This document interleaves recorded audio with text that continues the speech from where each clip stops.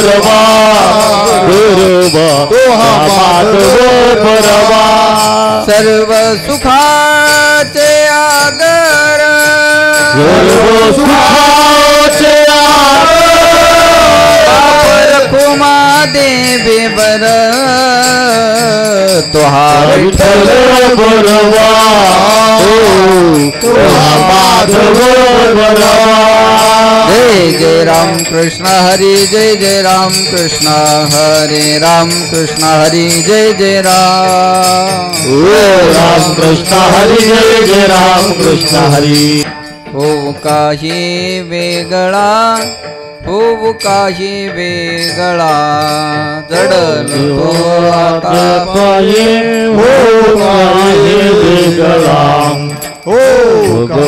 वेगळा। हो वेगळा। तुम्ही संते कृपा केली गंगे चाली ओघाचे गंगे चाली ओघाचे गंगे चाली ओघाचे. तुम्ही संते कृपा केली झाले वाचे झाले गंगेचा देव सांभाळिलो माय बापा केलो तापा वेगळा केलो तापा वेगळा केलो तापा वेगळा. सांभाळले तुम्ही केलो पापा वेगळा. केलो पापा वेगळा केलो पापा वेगळा तुम्ही संते कृपा केली गंगे चाली ओघाचे गंगे चाली ओघाचे गंगे चाली ओघाचे तुम्ही संत कृपा केले. गंगे चाली ओघाचे गंगे चाली उगाच. ओर सेया जीव झाला तुका ठेला मौनाची. तुका ठेला मौनचे तुका ठेला मौनचे ओर. झाला तुका ठेला मौनची तुका ठेला मौनची तुका ठेला मौनची. तुम्ही संते कृपा केली गंगे चाली ओघाची. गंगे चाली ओघाची गंगे चाली ओघाची. तुम्ही संत कृपा केली झाले सुखाचे झाले सुखाचे झाले सुखाचे विठोबा रखुमाये अरे विठोबा रखुमाये. जय विठोबा रखुमाये अरे ठोपार कुमाई विठोबा रखुमाये अरे ठोपार कुमाई विठोबा रखुमाये अरे ठोपार कुमाई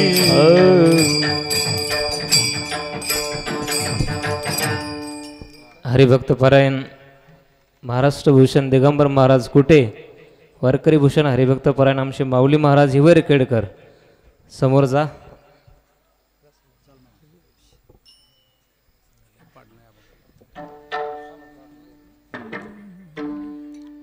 जडल तो आता पायी. जडल तो आता पायी. जडलो तो आता पायी. जडलो तो आता पायी. जडल तो आता पायी. पायी. जडल तो आता पाई पायी. जडलो तो आता पायी. जडलो तो आता पायी.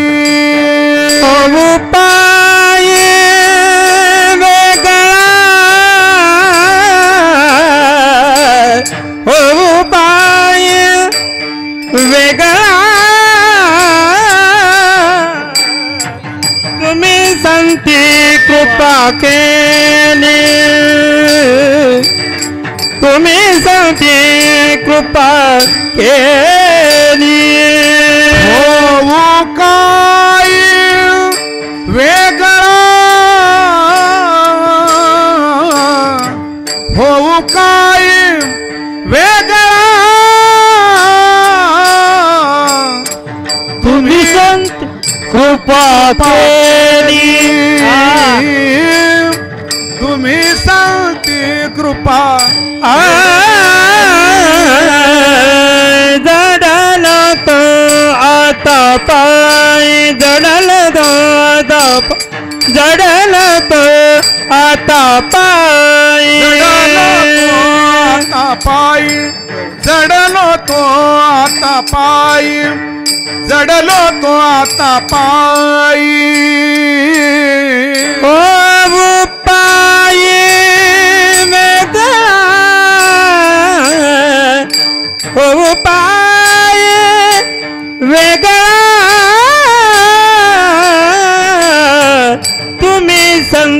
कृपा केली.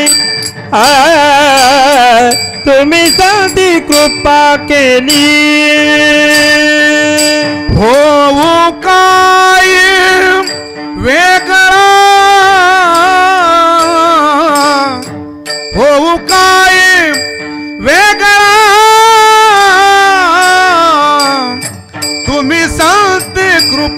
केली.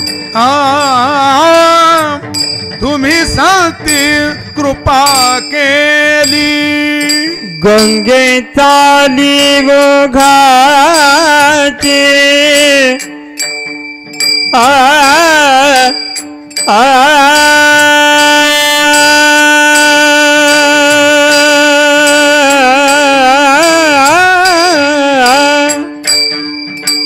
आ.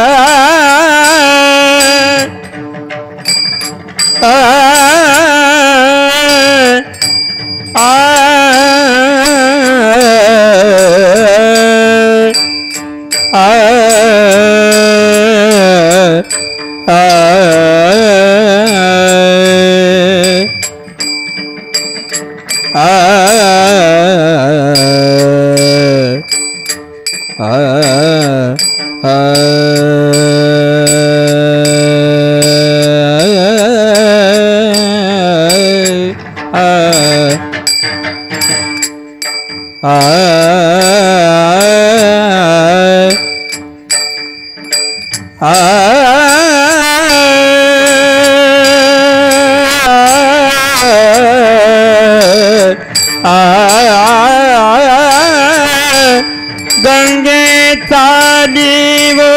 घाची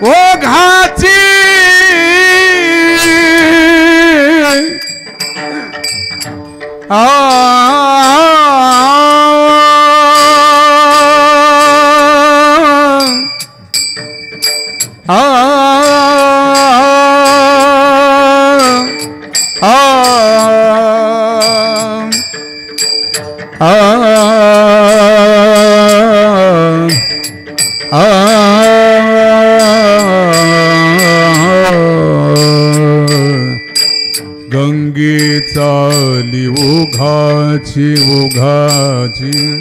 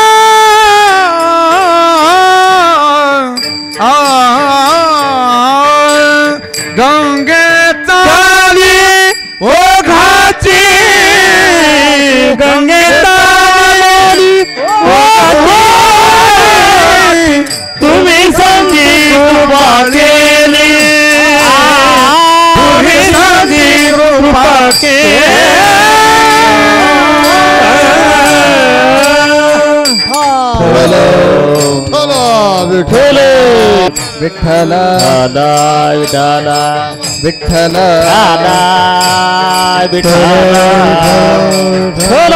விட்டானாய் விட்டானாய் விட்டானாய் விட்டானாய் விட்டானாய் விட்டானாய் விட்டானாய்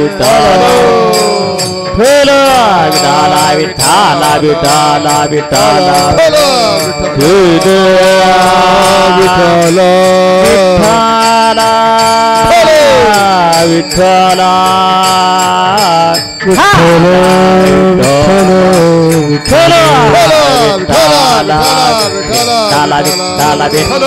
위터나 위터나 위터나 위터나 그리야 위터나 위터나 위터나 위터나 나나의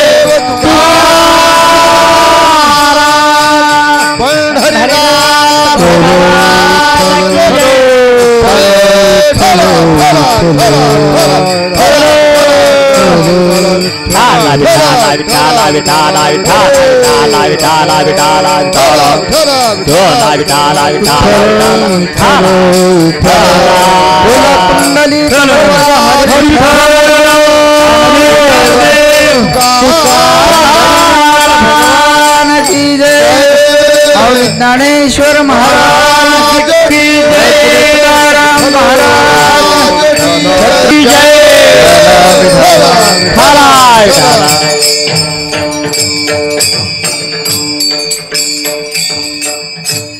जडलो तो आता पायी हो काही वेगळा।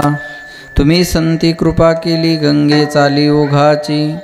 सांभाळिलो माय बापा केलो तापा वेगळा. तुम्ही संती कृपा केली. गंगे चाली ओघाची ओरसिया जीव धाला. तुका ठेला मौनाची तुम्ही संती कृपा केली. गंगे चाली ओघाची समचरण सरोजम सांद निलांबदाभम जगननीतपानिं मंडनानां तरुणतुलसीमालाकन्धरं कञ्जनेत्रं सदैधवलहासं विठ्ठलं चिन्तयामि। पाण्डुरङ्गाकरो प्रथम नमन। पाण्डुरङ्गाकरो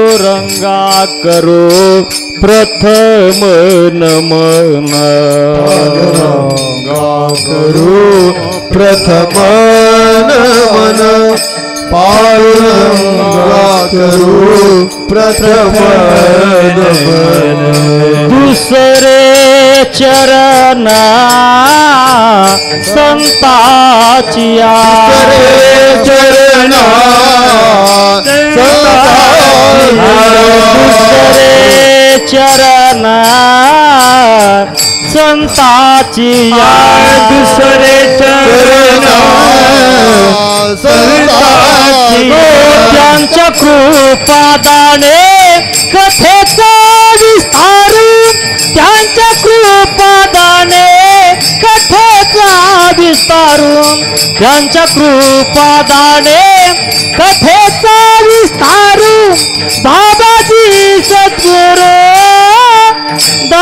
तुका.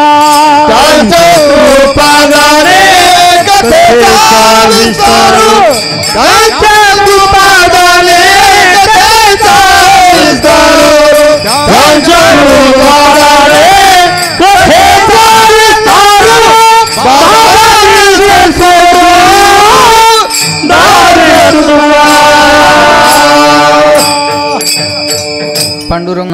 दुसरे चरण संताचिया त्यांच्या कृपादाने कथेचा विस्तारू बाबाजी सद्गुरुदास तुका। शुक्लम ब्रह्मविचार सार परमा माध्यम जगद्व्यापिनी विना पुस्तकधारिणी भयदां जड्यन्धकारापहा हस्ते स्फाटिकमालिकां विदधतीं पद्मासनी संस्थितां वन्दे तां परमेश्वरीं भगवतीं बुद्धिं प्रदा शरदां महायोगपीठे तटे भीमरथ्यामरुं पुण्डरीकाय धातुं मुनीन्द्रैः समागत्य तिष्ठन्तमानन्दकन्दं परब्रह्मलिङ्गं भजे पाण्डुरङ्गं नीलाम्बुजश्यामलुकोमलाङ्गं सीतासमारोपितवामभागं पानोमासायितचारुचापं नमामि रामं रघुवंशनाथं। जय जय श्रीराधारमन् जय जय नवलकिशोर जय गोपीचित्तचोरप्रभो। जय जय माखन चोर जयांचे केली स्मरण.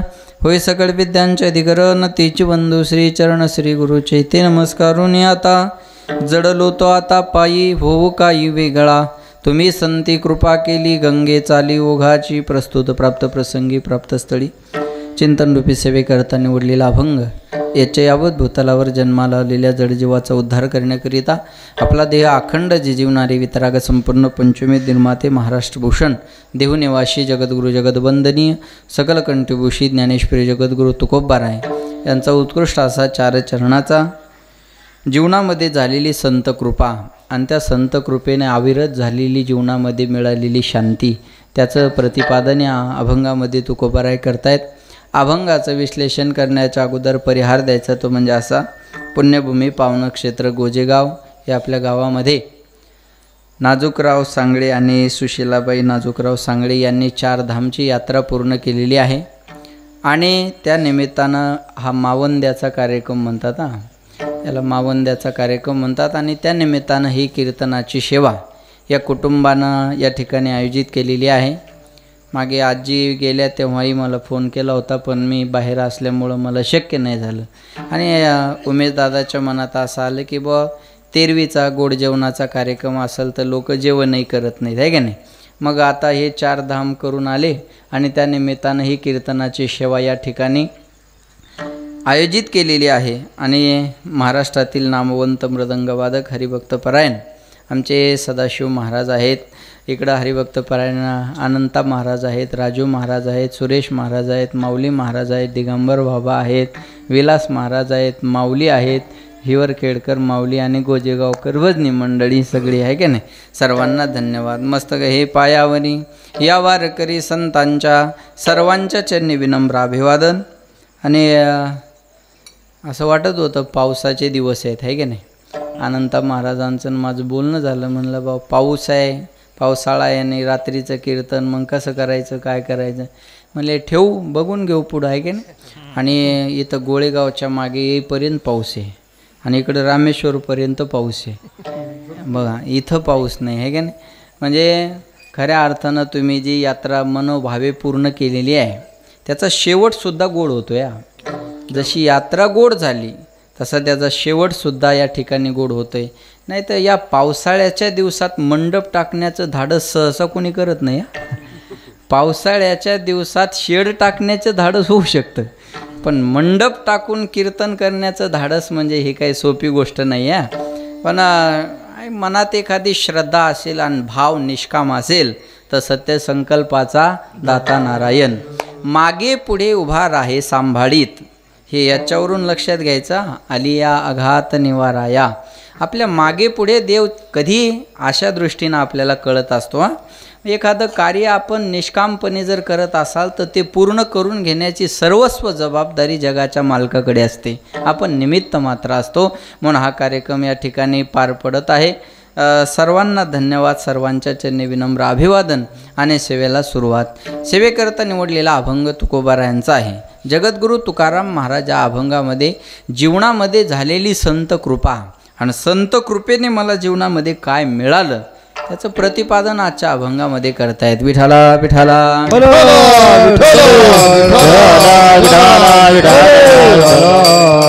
महाराज आपल्या जीवनामध्ये जर संत कृपा झाली तर हे कशावरून ओळखायचं? महाराज म्हणतात जडलो तो आता पायी.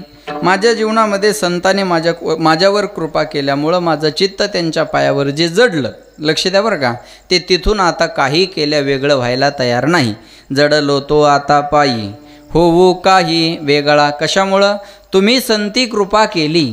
संतांनी जी माझ्यावर कृपा केलेली आहे ती कशाप्रमाणे? हे तिकडं जाऊन आले. म्हणून हा भंग हा घेतला मी. हा गंगे चाली ओघाची. आपण गंगेचा ओघ पाहून आलात गंगेचा उगमसुद्धा पाहून आलात. चार धामची यात्रा करत असताना गंगोत्रीला गंगेचा उगम आहे. गोमुखातून गंगेचा उगम झालेला आहे आणि ती गंगा जेव्हा चालत असते तेव्हा आपल्यासमोर आलेला खड्डा डावलून बाजूला जात नाही. आपल्यासमोर आलेला खड्डा पहिल्यांदा भरते आणि नंतर पुढं जाते. तसं संतांनी सुद्धा आपल्या जीवनात कृपा करत असताना आपल्या जीवनात जे काही खड्डे निर्माण झालेले आहेत अपराधाचे ते खड्डे अगोदर बाजूला केले भरले आणि आपल्या जीवनामध्ये असे गंगेच्या ओघाप्रमाणे कृपा केलेली आहे. गंगा जशी आपपर भाव पाहत नाही लक्ष द्या बरं का. गंगा जशी आपपर भाव पाहत नाही तसं पूर्वीचे संत सुद्धा आपपर भाव पाहत नव्हती. विठाला विठाला. विठाला विठाल. काही गोष्टी प्रश्नार्थक ठेवून मला पुढं बोलावे लागेल बरोबर आहे? संत जीवनामध्ये आपपर भाव पाहत नव्हते. हा माझा आहे म्हणून याच्यावर कृपा केली पाहिजे ना हा दुसरा आहे म्हणून याच्यावर कृपा नावं कृपा केली पाहिजे. हे संताच्या जीवनात नव्हतं. साधू संताने लढाच त्याच्यासाठी दिलेला आहे. लक्षात ठेवा बरं का? म्हणून तुम्ही संती कृपा केली. गंगे चाली ओघाची. गंगा जशी आपपर भाव पाहत नाही. माझ्याकडे लक्ष द्या बरं का. गायीची तृष्णा हरू का व्याघ्रा विष ओनी मारू तो नेनेची गा सागरू तो ये जैसा. सागराजवळ गाय जरी पाणी प्यायला गेली तरी सागर तहानच भागवतो. आणि वाहक जरी पाणी प्यायला गेला तरी तहान भागवतो. सागराजवळ भेद नाही. ना तरी इक्षदंडू. इक्षदंडू म्हणजे ऊस हा. ना तरी इक्षदंडू पाळी तया गोडू गाळी तया कडू नोहेची जेवी. ऊस लावणाराला गोड लागतो आणि चरख्यातून काढणाराला कडू लागतो. बरोबर आहे का? हो नाही काहीतरी बोला मी काय अमेरिकेतून आलो नाही. चला बोला. जवळचं आहे तुम्ही ओळखीचे आहात माझ्या. चला हस्त खेळत राहा म्हणजे बोलायला पुढे मजा येईल. आहे का नाही? ऊस ज्याने लावला त्याला गोड लागतो आणि बाकीच्याला कडू लागतो का? नाही लावणाराला गोड आणि चरख्यातून काढणाराला सुद्धा गोड. ऊसाजवळ भेद नाही सागराजवळ भेद नाही.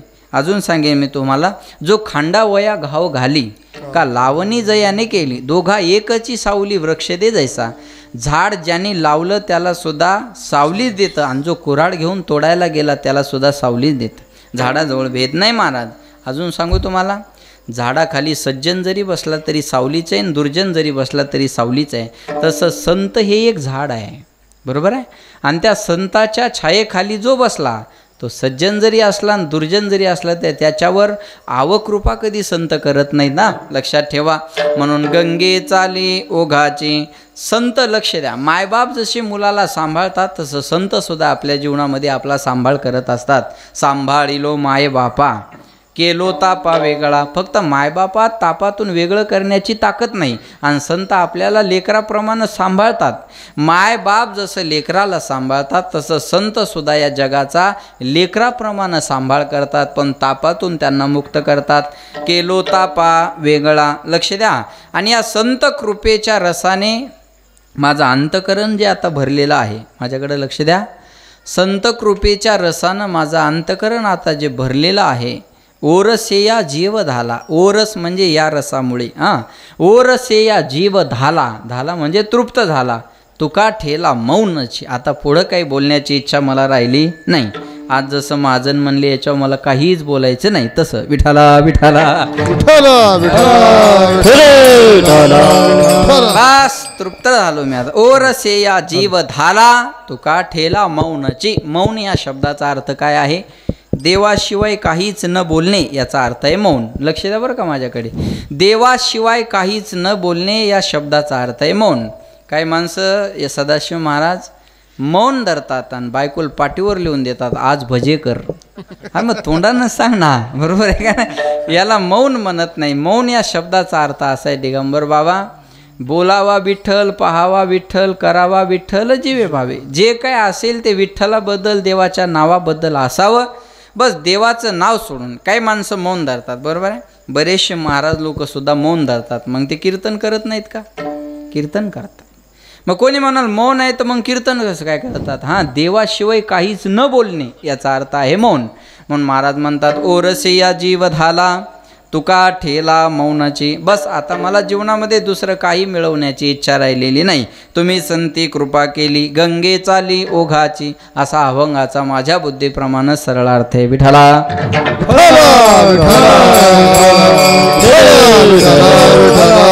तुकाराम महाराज म्हणतात माझ्या जीवनामध्ये संतांनी कृपा केलेली आहे. आपल्या जीवनामध्ये संत कृपा झाली हे कशावरून ओळखायचं? माझं बोलणं लक्षपूर्वक आहे बरं का? आपल्या जीवनामध्ये संत कृपा झाली हे कशावरून ओळखायचं. संताच्या कृपेनं जीवनामध्ये नेमकं मिळतं काय? काही माणसं म्हणतात चला तुमचे पाय आमच्या घराला लावाय. म्हणलं कशामुळं? तुम्हाला व्हायला निघायचं का? बरोबर आहे ना? आमचे पाय आम्हाला आमच्या घरी आठ आठ दिवस जाऊ देत नाही. तुमच्या घरी लागल्यावर तुम्ही घरी राहसाल का? संताच्या पायात आणि महाराजाच्या पायात फरक आहे. बरोबर आहे? लक्ष देऊन आहे कशाला नेता महाराजाला घरी?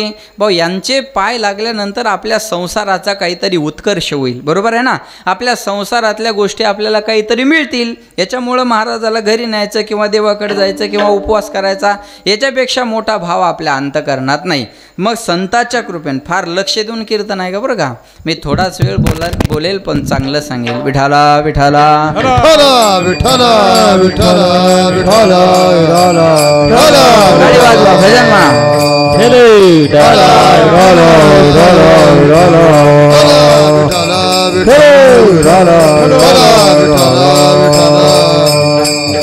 विठ्ठल विठ्ठल विठ्ठल विठ्ठल संत आपल्या जीवनामध्ये काय मिळून देतात? फार लक्ष देऊन ऐका बरं का. थोडा म्हणजे चांगलं लक्ष देऊन ऐकण्याचा विषय आहे. लक्ष दिलं तर कळेल. नाही तर मग काही कळणार नाही हां. लक्ष द्या. संतांनी कृपा केली हे कशावरून ओळखायचं? किंवा संत कृपेने आपल्या जीवनात मिळतं काय? आपला जो भ्रम आहे हे संत कधी देणारच नाही का काही म्हणतात महाराज तुमच्या आशीर्वादानं आमचं चांगलं झालं. अरे महाराजच रोज कीर्तनाला एका एका गावात आहे.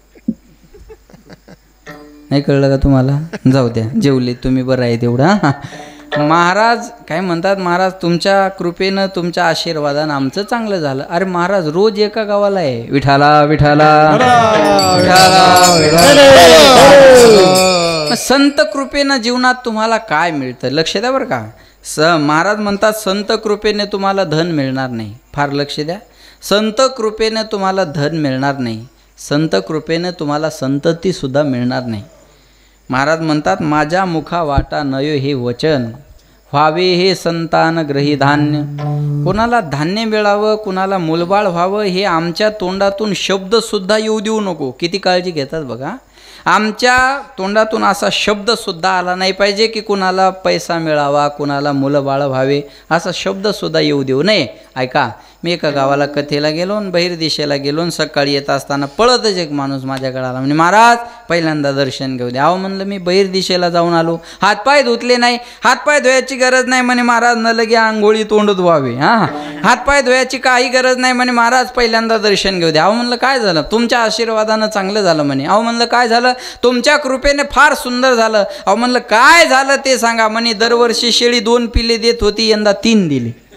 मला आता तो महाराज आला नेमका समजला तरी काय? विठाला विठाला.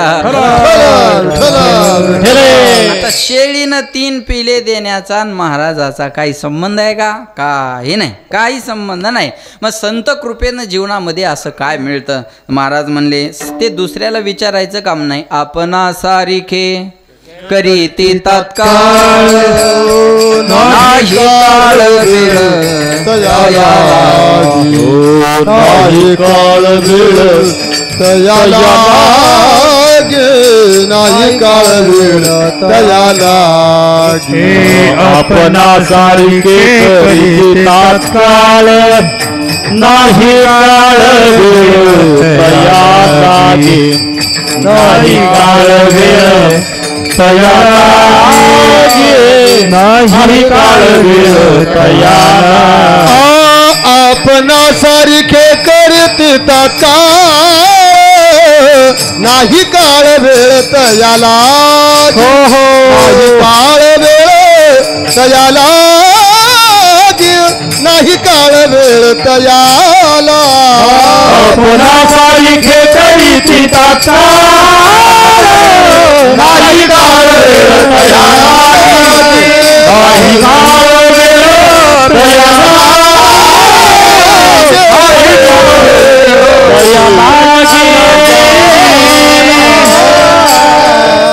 आपणा सारिखे करीती तात्काळ नाही काळ वेळ तया लागी. संत म्हणतात आम्ही कृपा केली हे कशावरून ओळखायचं? माझ्याकडे लक्ष द्या. जो आमच्यासारखं वागायला शिकला जरा जो आमच्यासारखं वागायला शिकला समजायचं त्याच्यावर संताची कृपा झाली. सोपं सोपं आहे फार अवघड नाही हा. आमच्यासारखं जो भजन करायला शिकला समजायचं याच्यावर संताची कृपा झाली. आमच्यासारखं जगाच्या कल्याणाचं ज्याला चिंता आहे असा जर एखादा वागत असेल तर त्याच्यावर संत कृपा झाली.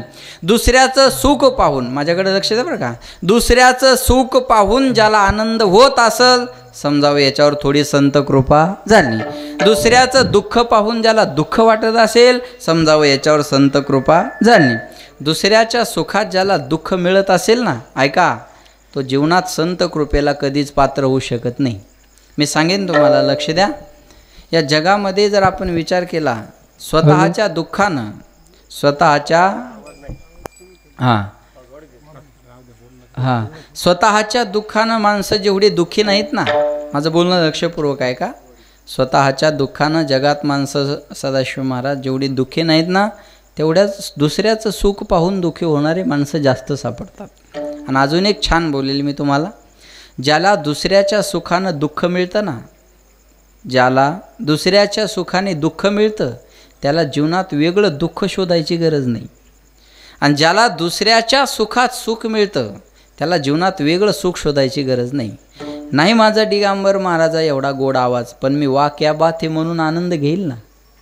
नाही माझं माऊली एवढं पाठांतर पण मी त्यांनी म्हणलेलं प्रमाण ऐकून आनंद घेईल ना? बरोबर आहे? नाही सदाशिव महाराजा एवढं सुंदर मला वाजवता येत पण त्यांनी एखादी गोड लगी वाजवल्यावर मी क्या बात हे म्हणेल ना? याच्यात आनंद आहे आनंद आहे. तुम्ही मिळवता आला पाहिजे. छोट्या छोट्या गोष्टीमध्ये आनंद मिळवता येतो बरं का. दुसऱ्याचं सुख पाहून जर आपण दुःखी व्हायला लागलो तर आपण आपल्या जीवनामध्ये संत कृपेला पात्र कधीच होऊ शकत नाही. मी येता येता अनुभव सांगतो इथून त्या गोळेगावच्या पुढं निघालो रस्ता खराब आहे. आणि रस्ता खराब आहे ना आमच्या गाडीचा फोकस मोठा आहे.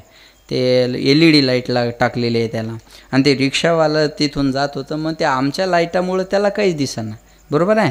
मग त्यानं असा हात केला असं रागाने जाऊ द्या म्हणलं तर आता दोन चार शिव्या दिल्या त्या का कीर्तनात सांगू का मी तुम्हाला? म्हणजे त्याच्या त्याने मनात दिल्या बरं काय मला काय ऐकायला नाही आलं मी एवढं ऐकून घ्यायला शांत माणूस नाही आहे पण त्यांनी दोन चार शिव्या दिल्या. मला उदाहरण काय सांगायचं आहे का? ते दिल्या असतील नसतील तो भाग वेगळा असेल हा. बघा आता शिव्या का दिल्या? त्याला दिसत नव्हतं म्हणून त्याने शिव्या दिल्या. हा भाग वेगळा आहे. आमच्या गाडीला असा लाइट असता तर मी त्याच्यावर डोळ्या त्याच्या डोळ्यावर घातला असता. बरोबर आहे ना? आमच्या गाडीला असा लाइट असता तर आमचं दुःख कमी झालं असतं. म्हणजे दुसऱ्याच्या गाडीचा जास्त प्रकाशसुद्धा आपण सहन करू शकत नाही कोणतीही गोष्ट बघा दुसऱ्याचं सुख पाहून दुःखी होणारे माणसं या जगात जास्त सापडतील हा. आता पावसाळ्याचे दिवस आहे. असं आहे ना? पावसाची म महावितरणची युती आहे. नाही कळलं का तुम्हाला? वाटीभर जरी पाऊस पडला तर दिवसभर लाइट नसते महाराज बरोबर आहे? मग लाइट गेल्या गेल्या आपण लाइट गेल्यावर काय पाहतो? आपल्या घरात लाइट का गेली हे पाहतो का शेजारच्याच्या घरात आहे का नाही हे पाहतो? बोला बोला बोला बोला. आपली गेल्यानंतर आपण करतो काय? बोला हो नाही काहीतरी बोला. आपण गेल्यानंतर आपण आपला प्रॉब्लेम पाहतो का? नाही माणूस बाहेर म्हणतो जाऊन शेजत्याची बाहेर आहे सांगळ्याची बाहेर गेली का?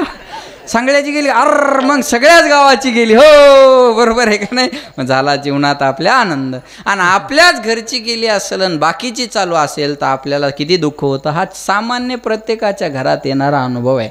सगळ्याच होत असेल तसं माझं झालं तर मला टेन्शन नाही. बरोबर आहे का नाही?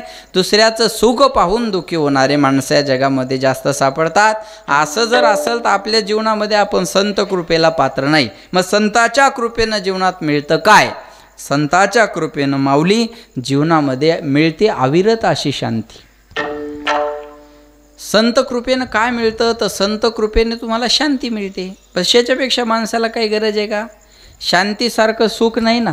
शांती परते नाही सुख. शांती परते नाही सुख शांती परते नाही सुख शांती परती नाही सुख शांती परते नाही सुख शांती परते नाही सुख शांती परती नाही सुख शांती परती नाही सुख. एर घ्यायचे दुःख. घ्यायचे दुःख. आव दुःख. राव घ्यायचे दुःख.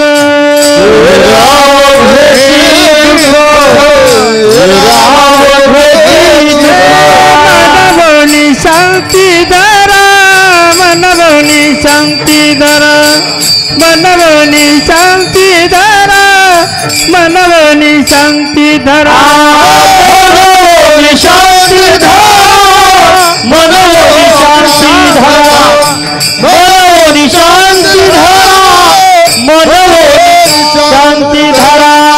शांती तरते नाही सुख हेर आवाक्याची दुःख मनवाने शांती धरा।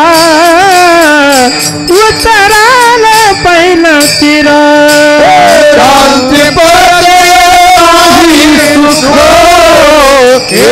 रामे करते दुःख मनोनी शांती धरा।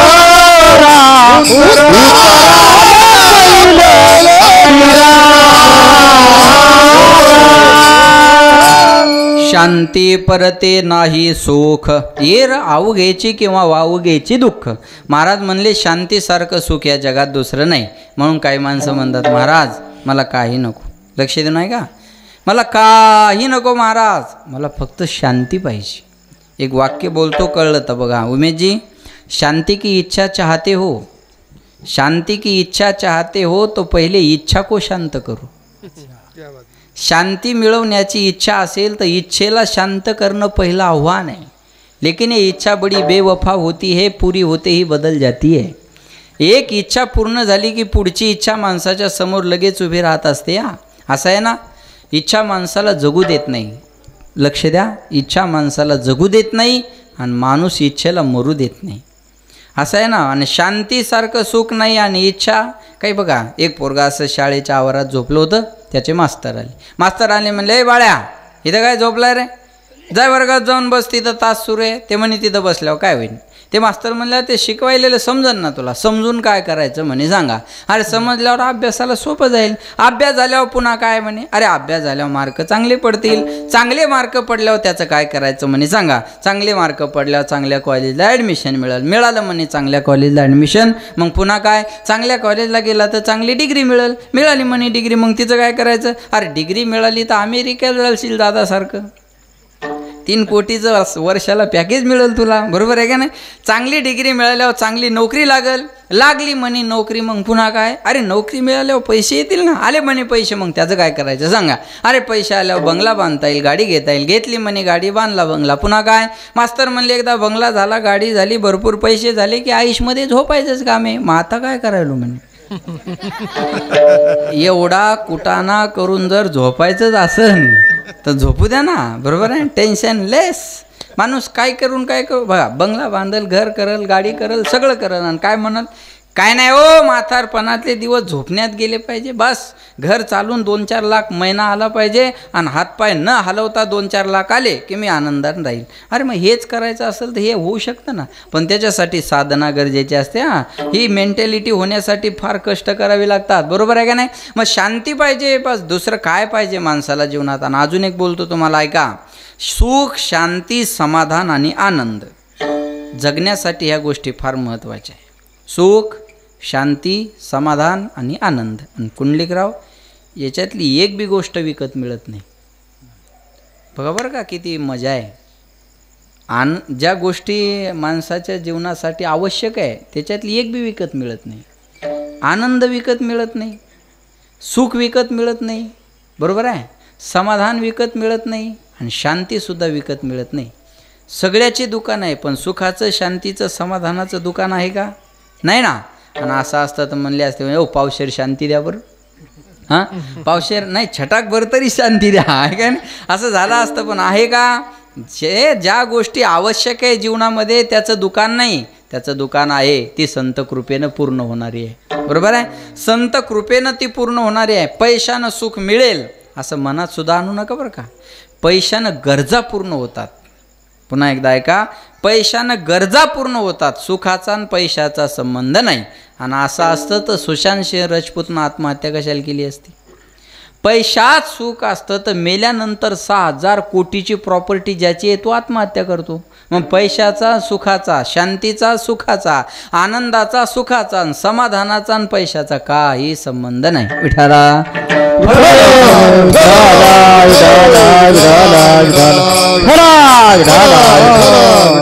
म्हणून जीवनामध्ये माणसाला आवश्यक आहे ती शांती आणि शांतीसारखं सुख या जगात नाही. महाराज म्हणले प्रमाण दिलं माऊलीने शांती परते नाही सुख. शांतीसारखं त्यागात शांतीरनंतरम. वस्तूच्या प्राप्ती सुख नसतं बरं का? मी मुलीला घेऊन ऐका मुलीला घेऊन एका यात्रेत गेलो. आणि यात्रेत गेल्यानंतर आता सुख कसं आहे आणि शांती कुठे आहे बघा. यात्रेत गेल्यानंतर तिनं ते फुगा पाहिला. म्हण पप्पा फुगा घेऊन द्या ऐका आता ज्या फुगा विकणारा होता ना फुगा विकणारा होता तो कोण्यातरी ग्राहकाची वाट पाहत होता. कोणीतरी ग्राहक यावं आणि मला याच्यातून चार पाच रुपये मिळावे म्हणजे माझा संसार चालेल. मग मी फुगा घेतला आणि मुलीला दिला त्याला पाच रुपये मिळाले.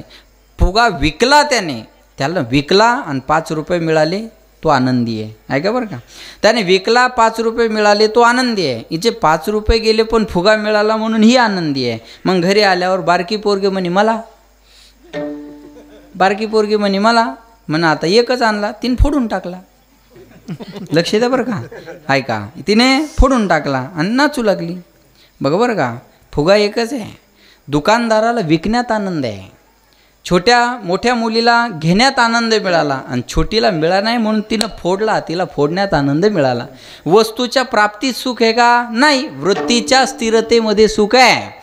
माझ्या वृत्तीला जे पाहिजे ते मिळालं की वृत्ती तेवढ्यापुरती स्थिर होत असते. भाड्याच्या घरात राहायला लागलं की वाटतं छोटंसं स्वतःचं घर असलं पाहिजे. स्वतःच्या घरात राहायला लागलं की वाटतं निदान हवेशीर एअर कंडिशन असलं पाहिजे. एअर कंडिशन असलं की वाटतं बस आता दारात चार चाकी आणून उभी केली की काम झालं. बरोबर आहे? हे थांबणारं नाही आहे. हे थांबणारं नाही आणि या गोष्टीनं आपल्याला आनंद जीवनामध्ये मिळणार नाही. मग शांतीसारखं सुख या जगामध्ये नाही आहे. म्हणून महाराज म्हणले ती शांती आपल्याला मिळून देणारी कोण असेल तर ती संत कृपा आहे. महाराज म्हणले समशत्रोच मित्रेच तथा मानापमानयो शीतोष्ण सुख दुःखेशु समसंग विवर्जिता. काय या श्लोकाचा अर्थ? समशत्रोच मित्रेच. आम्हाला शत्रू आणि मित्र समान आहे. बघा आम्हाला शत्रू आणि मित्र समान आहे. सुख आणि दुःखसुद्धा समान आहे. बघा बरं का? शीत आणि उष्णसुद्धा समान आहे. म्हणजे आम्हाला हार घातला तर आनंद होत नाही आणि शिव्या दिल्या तर दुःख होत नाही. हे संताचं जीवन आहे बरं. आता हे मी बोलतोय पण मी बी इथं नाही. विठाला विठाला. संताचं जीवन काय? मला शिव्या दिल्या तर मला दुःख होत नाही आणि मला हार घातला तर मला आनंद होत नाही. बरोबर आहे ना? आणि याच्यासाठी जीवनात संत कृपा महत्त्वाची असते हा. हे बघा आपल्या सुखाची चाबी दुसऱ्याच्या हातात देत बसू नका. आपल्या सुखाची चाबी आपण सहज दुसऱ्याच्या हातात देतो. एखादा आपल्याला वाईट बोलतो जेवतो नर झोपून जातो. मस्त एखादी अर्धी शिल्लक खातो त्याला वाईट बोललो मी. आणि आपण जीवाला खातो भाकरीला खात नाही. माझं बोलणं कळलं का तुम्हाला? तो असा का बोलला माझ्यामुळे? माझ्यासाठी असा का बोलला? मी उदाहरण सांगतो तुम्हाला. मी एक पंधरा वीस दिवसापूर्वी मंत्री गुलाबराव पाटील यांच्या वाढदिवसाला कीर्तनाला गेलो. घडले घडलेलं बरं का. मी आता विनाकारण कसं काय कोणाचं नाव घेऊन बोललेलं आहे की आणि त्यांचा मुलगा आहे प्रताप नावाचा. प्रताप नावाचा मुलगा आहे तो एकदम स्कूटीवर मला घ्यायला आला. आणि ते असं पोरातच आपले साधे कपडे वगैरे घालून बसला होता. आणि मग म म मी म्हटलं ते मुलगा कुठे आहे साहेबांचा? म्हणे हा हेच. म्हणलं तुम्हीच आहे का? म्हणे हो महाराज. एकदम सिंपल बरं का एकदम साधा. आणि नंतर कीर्तन झाल्यावर आम्ही खुर्ची टाकून त्यांच्या शाळेसमोर बसलो. त्या पोराचे विचार मला आवडले बरं का. तो म्हणे महाराज आपण फारसं टेन्शन घेत नाही. ते स्कूटीवर फिरतं बरं. स्कूटीवर फिरतं मंत्र्याचं पोरग. आणि ते म्हणे मी काय फारसं टेन्शन घेत नाही महाराज. मला जर कोणी येऊन सांगितलं आणि ह्याने शिव्या दिल्या तर मी त्याला म्हणत असतो देऊ दे दिल्यात अरे कुणाकुणासोबत भांडत बसू? असं प्रत्येक शिवा देणाऱ्या संग जर भांडत राहिलो तर मी दुसरं काम करू का नाही? माघारी दिल्या ना तोंडावर दिल्यावर पाहून घेऊ. जाऊ दे तिकडे. अरे माघारी बायको नवऱ्याबद्दल चांगलं बोलत नाही जगाकडून काय अपेक्षा ठेवता? विठाला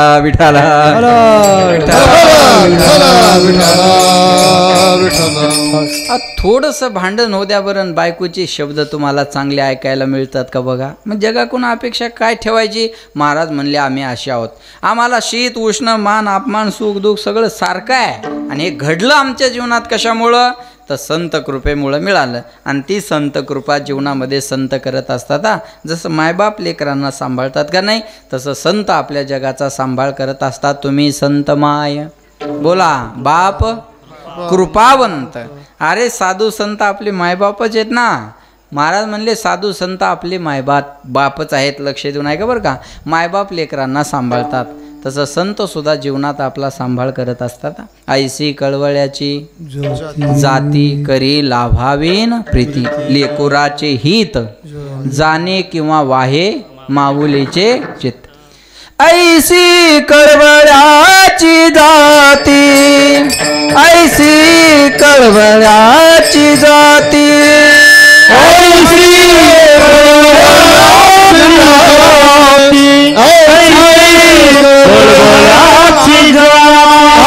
ऐशी कळवळ्याची जात ऐशी कळवळ्याची जाते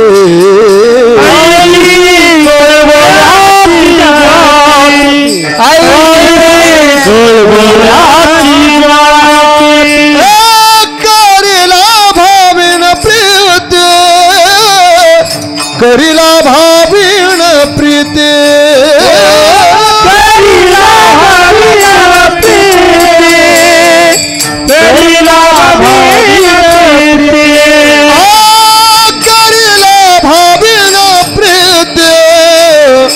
करीला करीला भावीन प्रीते।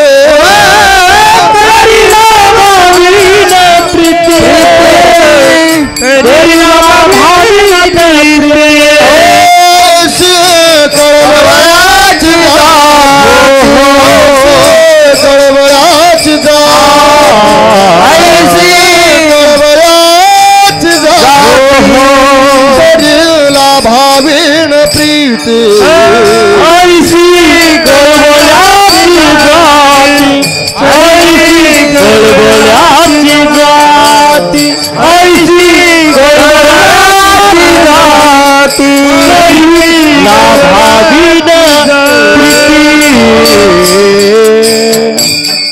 ऐसी कळवळ्याची जाती ऐसी कळवळाची जाती. महाराज म्हणले करीला न प्रीती. आई जसं आपल्या लेकराला सांभाळते वडील जसं आपल्या लेकरांना सांभाळतात तसं संत सुद्धा या जगाचे मायबाप आहेत हां. संत सुद्धा या जगाचे मायबाप आहेत. लेकराप्रमाणे संत आपला सांभाळ करत असतात बरं का? लक्ष देऊन आहे का बरं का? मायबाप लेकरांना किती सांभाळतात? माय झाल्याशिवाय कळणार नाही माय लेकरावर किती प्रेम करते. आणि बाप झाल्याशिवाय कळणार नाही बाप लेकरावर किती प्रेम करतो हां? हे बघा बरं का. या जगाच्या पाठीवर सर्वात मोठं प्रेमाचं पात्र आईवडील आहे. आणि आईवडिला एवढं प्रेम या जगात दुसरं कोणीच माणसावर करत नाही बरं का. एक संत सोडले तर हां? संत सोडले तर मायबापा एवढं प्रेम या जगात कोणीच करत नाही. संत आणि आई याच्यात थोडा भेद आहे. संत आणि आई याच्यात थोडा भेद आहे. कोणता भेद आहे माया हो? ऐका. आई फक्त स्वतःच्या लेकरावर प्रेम करते आणि संत जगाच्या लेकरावर प्रेम करतात. एवढा भेद जर सोडला तर संत आणि आई याच्यात भेद नाही. म्हणून वेळोवेळी महिलांना प्राधान्य जास्त दिले आहे. मोदी साहेबांना आत्ता विधेयक पास केलं महिला विधेयक आहे की नाही? साधू संतानं सातशे वर्षापूर्वी पास केलं. जनी मनी ज्ञान देवा बोला अभंग किंवा ओम नम पार्वती पते. तुम्ही गेले ना आता? केदारनाथला. काय म्हणतात? ओम नम पार्वती पते. हर हर महादेव. अगोदर पार्वती मग महादेव. सीता राम. राधे श्याम. लक्ष्मी नारायण. अगोदर लक्ष्मी मग नारायण. अगोदर सीता मग राम. अगोदर पार्वती मग शंकर. अगोदर राधा मग श्याम. अरे आपुलिया हिता जो आशे जागता धन्य माता पिता तयाची अगोदर माता आणि मग पिता. बरोबर आहे ना? पिता असल्यामुळं मागं ठेवला बरोबर आहे? अगोदर माता मग पिता कुळी कन्या मग पुत्र बरोबर आहे? अगोदर कन्या मग पुत्र अगोदर माता मग पिता मातृ पितृ ऋण सोहळा म्हणा मातृ पितृ ऋण मग पितृ मातृ ऋण का म्हणत नाही? अगोदर मातृ मग पितृ बरोबर आहे? मातृदेवो हो. बोला मातृदेवो पितृदेवो मग अगोदर मायला प्राधान्य बरोबर आहे ना? नंतर पितृदेव म्हटलेला आहे. लक्ष देऊन आहे का बरं का. या जगाच्या पाठीवर सर्वात मोठं प्रेमाचं पात्र आई वडील आहेत. मायबाप आपल्या लेकरासाठी किती कष्ट करतात. किती कष्ट करतात मी सांगेल. असे उन्हाळ्याचे दिवस होते म्हणजे पावसाळ्याच्या अगोदर उन्हाळा लागत होता. उन्हाळ्याचे दिवस होते आणि लगेच पावसाळा सुरू होणार होता. मग एक पोरगं पत्र फॅरत होतं बघा. पत्र फॅरणं कळतं ना पत्र फॅरत होतं आणि ती आई आली उन्हात काठी टेकवत बाहेर. काय करतो? म्हणजे पत्र फेरायला लागलो. अरे एवढं ऊन पडलंय आणि एवढ्या उन्हात तुला कोणी सांगितलं हे काम करायला? पहिलं खाली उतर. तो म्हणतो आई तुझं तू काम कर आज जाऊन बस मला माझं काम करू दे. आई म्हणते अरे ऊन किती आहे? भर दुपारची वेळ आहे आणि एवढ्या दुपारच्या वेळात पत्रावर जाऊन पत्र बरोबर करतो. खाली उतर. बस सकाळी होईल नाही तर सायंकाळी करता येईल. चल खाली आहे पोरगं म्हणतं ऊन मला लागतंय तू टेन्शन घेऊ नको तू तुझं घरात जाऊन बस. पोरगं म्हणतं आई तू तुझं घरात जाऊन बस. आई म्हणते तू पहिल्यांदा खाली उतर. पोरगं म्हणतं आई माझं काम मला करू दे. का माझ्या कामात मला इंटरफेअर करते? का विक्षेप करते? अगं मला ऊन लागतं मी बघून घेईल ना. त्याची माय आता सांगून पोरगा ऐकत नाही मग माय जाते आणि त्याचं तीन वर्षाचं लेकरू उचलून मा बाहेर शिमेट रोडवर ठेवते. पायात चप्पल नाही काय नाही पोरगं थै थै थै थै नाचतं पोरगं मग वरून म्हणतं आपल्या इकडची भाषा अय माये. अय माये आ त्या पोराला आत घेऊन जाय. ते म्हणते माय म्हणते काय झालं? अगं ऊन किती आहे. त्याची माय म्हणते मग त्याचं ते बघन ना. त्याचं ते बघन ना तुला काय करायचं? अगं यु त्याला कळत असतं का उन्हाचा? उन्हाचा चटका बिटका लागला म्हणजे काय करायचं? त्याची माय म्हणते मस्त त्याचं ते बघन तुला काय घेणं तू तुझं काम कर जाऊ दे. त्याचं त्याला क- तो म्हणतो आई पाया पडतो तुझ्या लेकराला कळत नाही त्याला पहिल्यांदा आत घेऊन जाय. मग त्याची माय म्हणते बाबा तीन वर्षाचं तो कार्ट दोन मिनटं बाहेर ठेवलं तर तुला किती त्रास झाला? अरे मी वयाच्या चाळीस वर्षापर्यंत तुझा सांभाळ केला. तू उन्हात असल्यावर मला किती त्रास होत असेल? बरोबर आहे ना? तू उन्हात असल्यावर मला किती त्रास होत असेल? महाराज म्हणतात या जगाच्या पाठीवर सर्वात मोठं प्रेमाचं पात्र जर कोणतं असेल ना त्याचं नाव मायबाप आहे. म्हणून म्हणतात सबसे बडी है माँ सबसे बड़ी है माँ। माँ से बढ़कर कोई नहीं है। माँ देती है दुआ। सबसे बड़ी है माँ। सबसे बड़ी है माँ। कौन भला दुनिया में माँ की जगह ले सका? कोई कह दे, क्या होती है माँ? आखिर माँ होती है माँ, सबसे बड़ी है माँ, सबसे बड़ी है माँ। जगाच्या पाठीवर सर्वात मोठं प्रेमाचं पात्र कोणतं असेल तर त्याचं नाव मायबाप आहे. मायबाप केवळ काशी. आता तुम्हाला नाही जाता आलं तीर्थयात्रेला आहे की नाही? तुमचे आई वडील चार धामाची यात्रा करून आले तुम्हाला जाता नाही आलं. उमेश दादा अजिबात दुःख वाटून घ्यायचं कारण नाही. तुम्ही तुमच्या मायचं आणि बापाचं दर्शन जरी घेतलं तर मायबाप केवळ काशी तेने न जावे तीर्थाशी. अजून सांगू? ये तो सच है कि भगवान है। है मगर फिर भी अनजान है। धरती पे रूप माँ बाप का उस विधाता की पहचान है। या जगाच्या पाठीवर चालतं बोलतं दैवत कोणतं असेल तर त्याचं नाव मायबाप आहे। तीर्थयात्रेला तर गेलंच पाहिजे। पण नाहीच जाता आलं काही कारणामुळं तर तुका म्हणे मायबापे अवघी देवाची स्वरूपे. विठाला पिठाला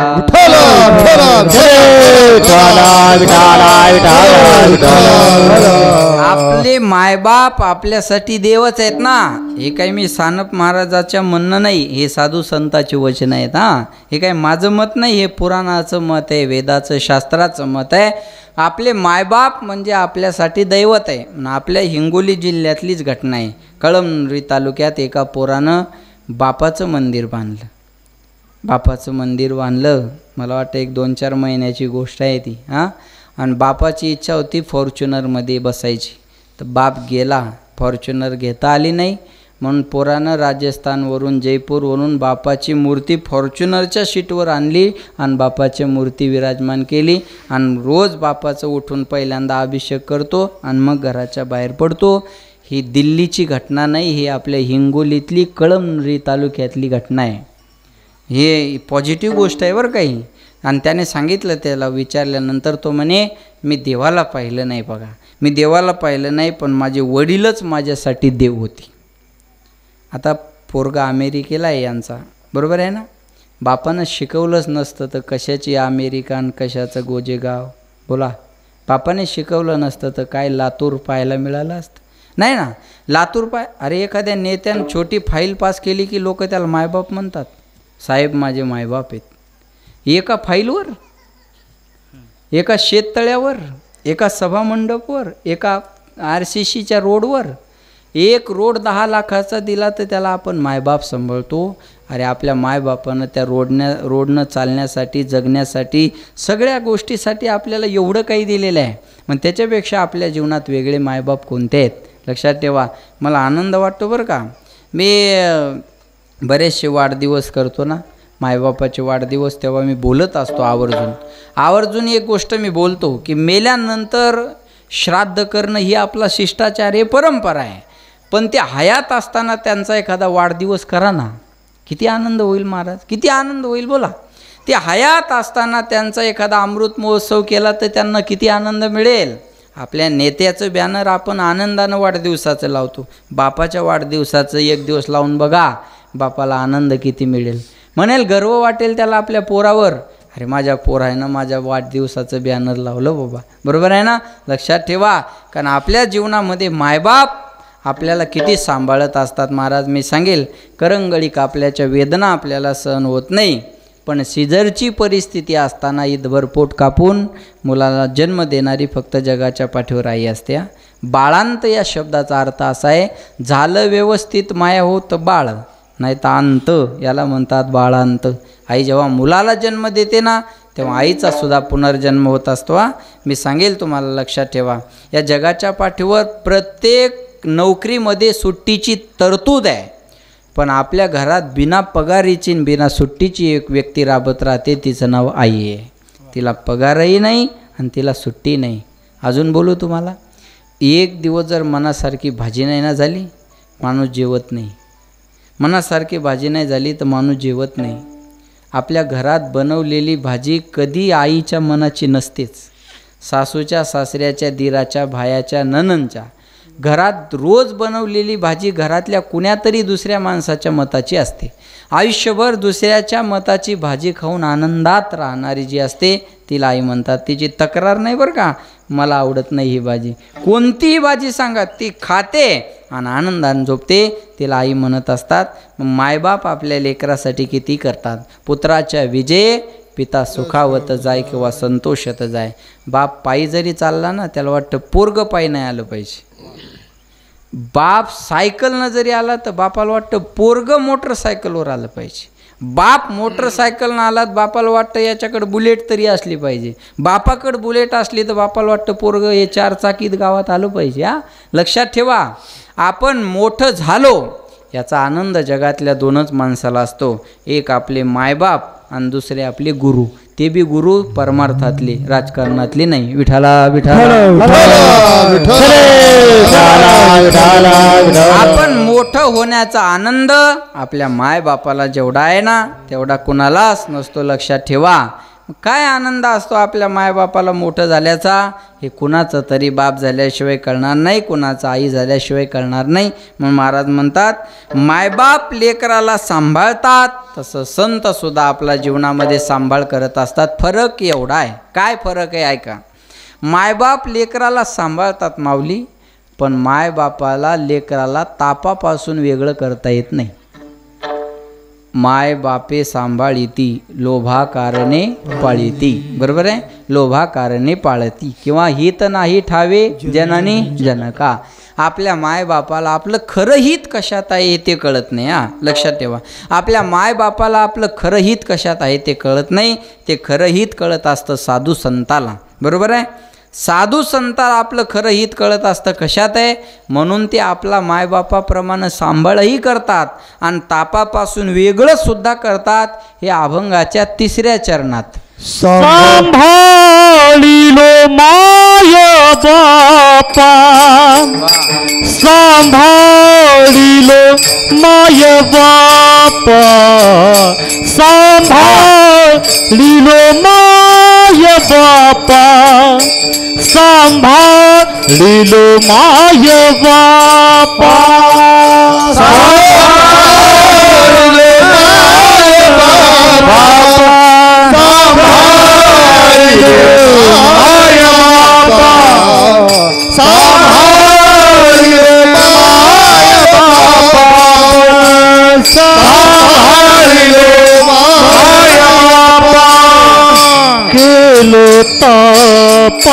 वेगळा केलो तापा वेगळा. गेलो तापा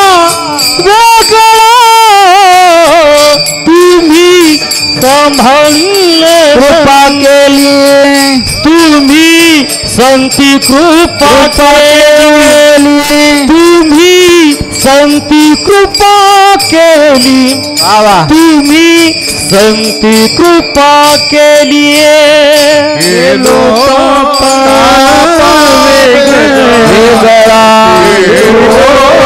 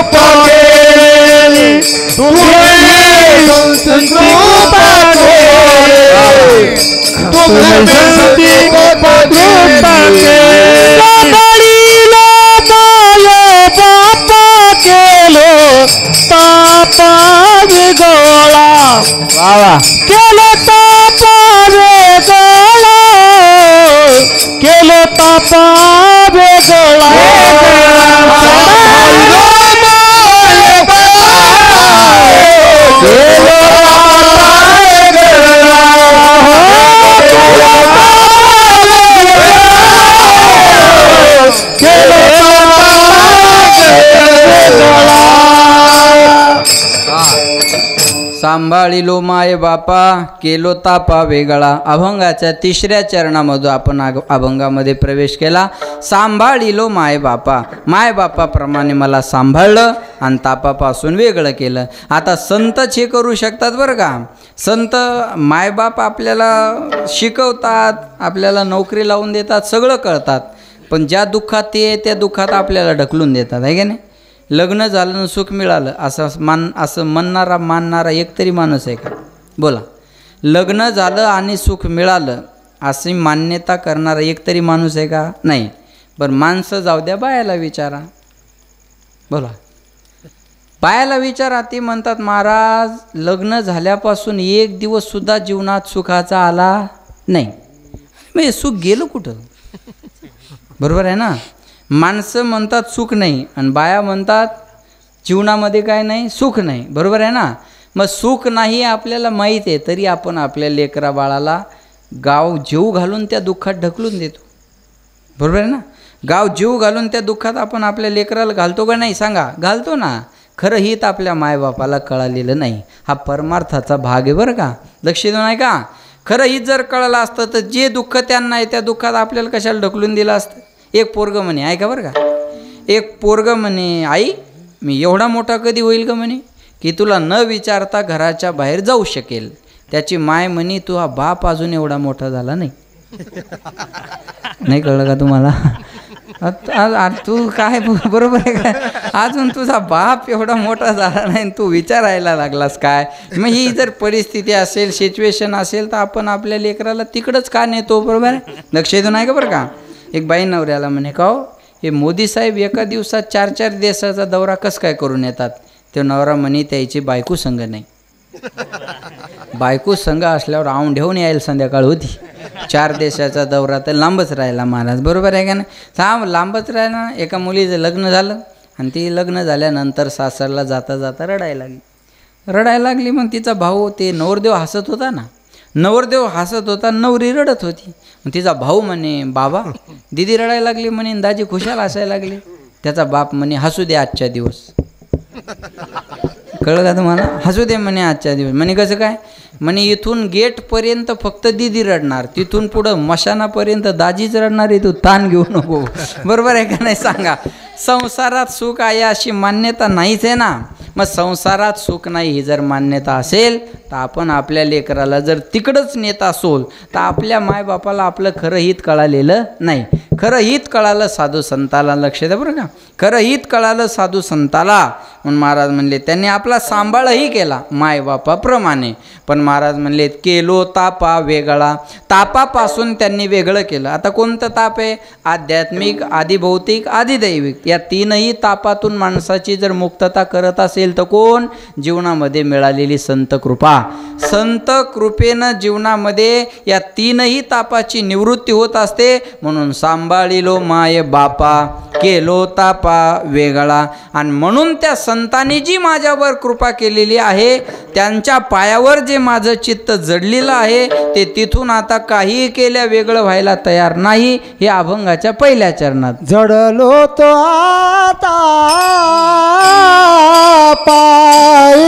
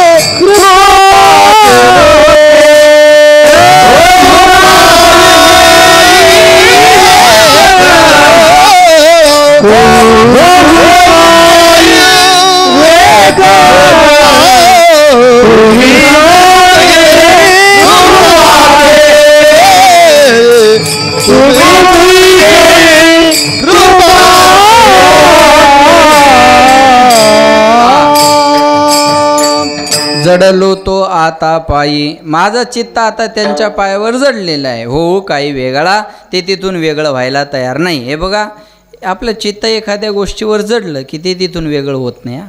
चित्ताचा विषयच असा आहे ते एखाद्यावर जडत नाही. अनेकदा जडलं की तिथून वेगळं होत नाही. असं आहे ना? पण महाराज म्हणले नश्वर गोष्टीवर चित्त जडवल्यापेक्षा ती नाशवान कधीतरी जाणारी आहे. संताच्या चरणावर आपलं चित्त जर जडलं तर आपल्या जीवनामध्ये कल्याण झाल्याशिवाय राहणार नाही. कल्याण झाल्याशिवाय राहणार नाही. लक्ष देऊन नाही का बरं का. संताच्या पायावर चित्त जडावं देवाच्या पायावर चित्त जडावं. रामायणातलं उदाहरण आहे. राम रावणाचं युद्ध झालं आणि त्या युद्धामध्ये रावणाचं सैनिक मारण्यात आलं. नंतर गण लक्ष द्या. कुंभकर्णाला उठवलं आणि कुंभकर्णानं काय केलं बघा? वानरं तोंडात टाकायला सुरुवात केली. एक वानर उचललं तोंडात टाकणार तेवढ्यात त्याचा सुगंध आला त्याचं नाव होतं गंधमादन. त्या रावणात त्या वानराचं असं वैशिष्ट्य होतं तो जाईल तिथला परिसर सुगंधित होऊन जायचा हे त्याचं वैशिष्ट्य. मग त्या गंधमादनाला विचारलं कुंभकर्णानं तुला जगायचं का मरायचं? म्हणे कुणाला मरा वाटतं? मरा वाटतं का माणसाला? मरा वाटत नाही. माणसं मरण्याचे नाटकं करतात पण मरा वाटत नाही बरं का? एक पोरगी जीव द्यायला निघाली. लक्ष द्या बरं का? मेकअप केला आणि जीव द्यायला निघाली. एक पोरगं भेटलं म्हणे कुठं चालली? ती म्हणे जीव द्यायला चालली. म्हणे एवढा मेकअप करून? ती म्हणे मग उद्या पेपरला फोटो चांगला आला पाहिजे ना. मी ही मरणार आहे का सांगा? जी उद्याच्या पेपरचा फोटो चांगला यावा म्हणून प्रतीक्षेत आहे ती मरणार आहे का?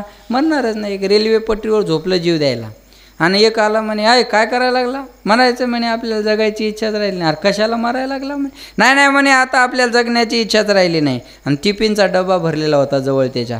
ते विचार ते दुसरा आलेलं म्हणे या डब्यात काय आहे? म्हणे जेवण आहे. आणि मग मी हे जेवण कशाला? मग रेल्वे उशीर झाल्यावर काय उपाशी मरू काय म्हणे हा? मग हे काय मरणार आहे का मला सांगा बरं आता? मरावं कुणाला वाटत नाही महाराज. मरावं कुणाला वाटतं सांगा. मग त्या गंधमादानाला विचारलं तुला जगायचं का मरायचं? म्हणे कुणाला मरा वाटतं? मग तुला मरायचं जर नसल तर तू एवढं मन मी रावणाचं आहे. आहे का बरं का? मेलं गंधमादन. मेलं रामाचा म्हणून मेलं पण रावणाचा म्हणून जगलं नाही. जडलो तो आता पायी. रामाचा म्हणून मेलं पण रावणाचं म्हणून जगलं नाही याला अनन्य शरणागती म्हणतात. सर्व धर्मान परित्यज्य माम एकम शरणम रज माझं चित्त ते देवाच्या पायावर जडलेलं आहे. बस मला तिथून वेगळं व्हायचं काही कारण नाही. जडलो तो आता पायी. हो का ये वेगळा. आणि कशामुळं? तुम्ही संती कृपा केली गंगे चाली ओघाची. गंगेच्या ओघाप्रमाणे संताने माझ्यावर कृपा केलेली आहे. गंगा जशी आपपर भाव पाहत नाही तसं संतसुद्धा आप पापपर भाव पाहत नाही उच नीच काही नेणे. भगवंत जसं देवाने आपल्याला उदाहरणं दिलेली आहे तसं संतसुद्धा आपपर भाव पाहत नाही म्हणून गंगे चाली ओघाची. आणि याच्यामुळं माझं अंतकरण असं या रसामुळं माझं अंतकरण तृप्त झालेलं हे अभंगाच्या शेवटच्या चरणात सांगतो. ओरशे जीव धाला. आ, आ, ओरशे जीव धाला. आ, आ, ओरसे जीव धाला।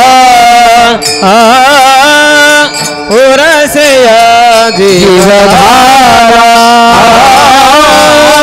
ओरशे जीव धाला ओरशे जीव धाला। ओरसे जीव धाला। ओरसे जीव धाला तुका ठेला मौनाची. तुका ठेला मौनाची. तुम्ही संती कृपा केली. हा तुम्ही संती कृपा केली. तुका ठेला तुका ठेला मौनाची तुम्ही संकल्पा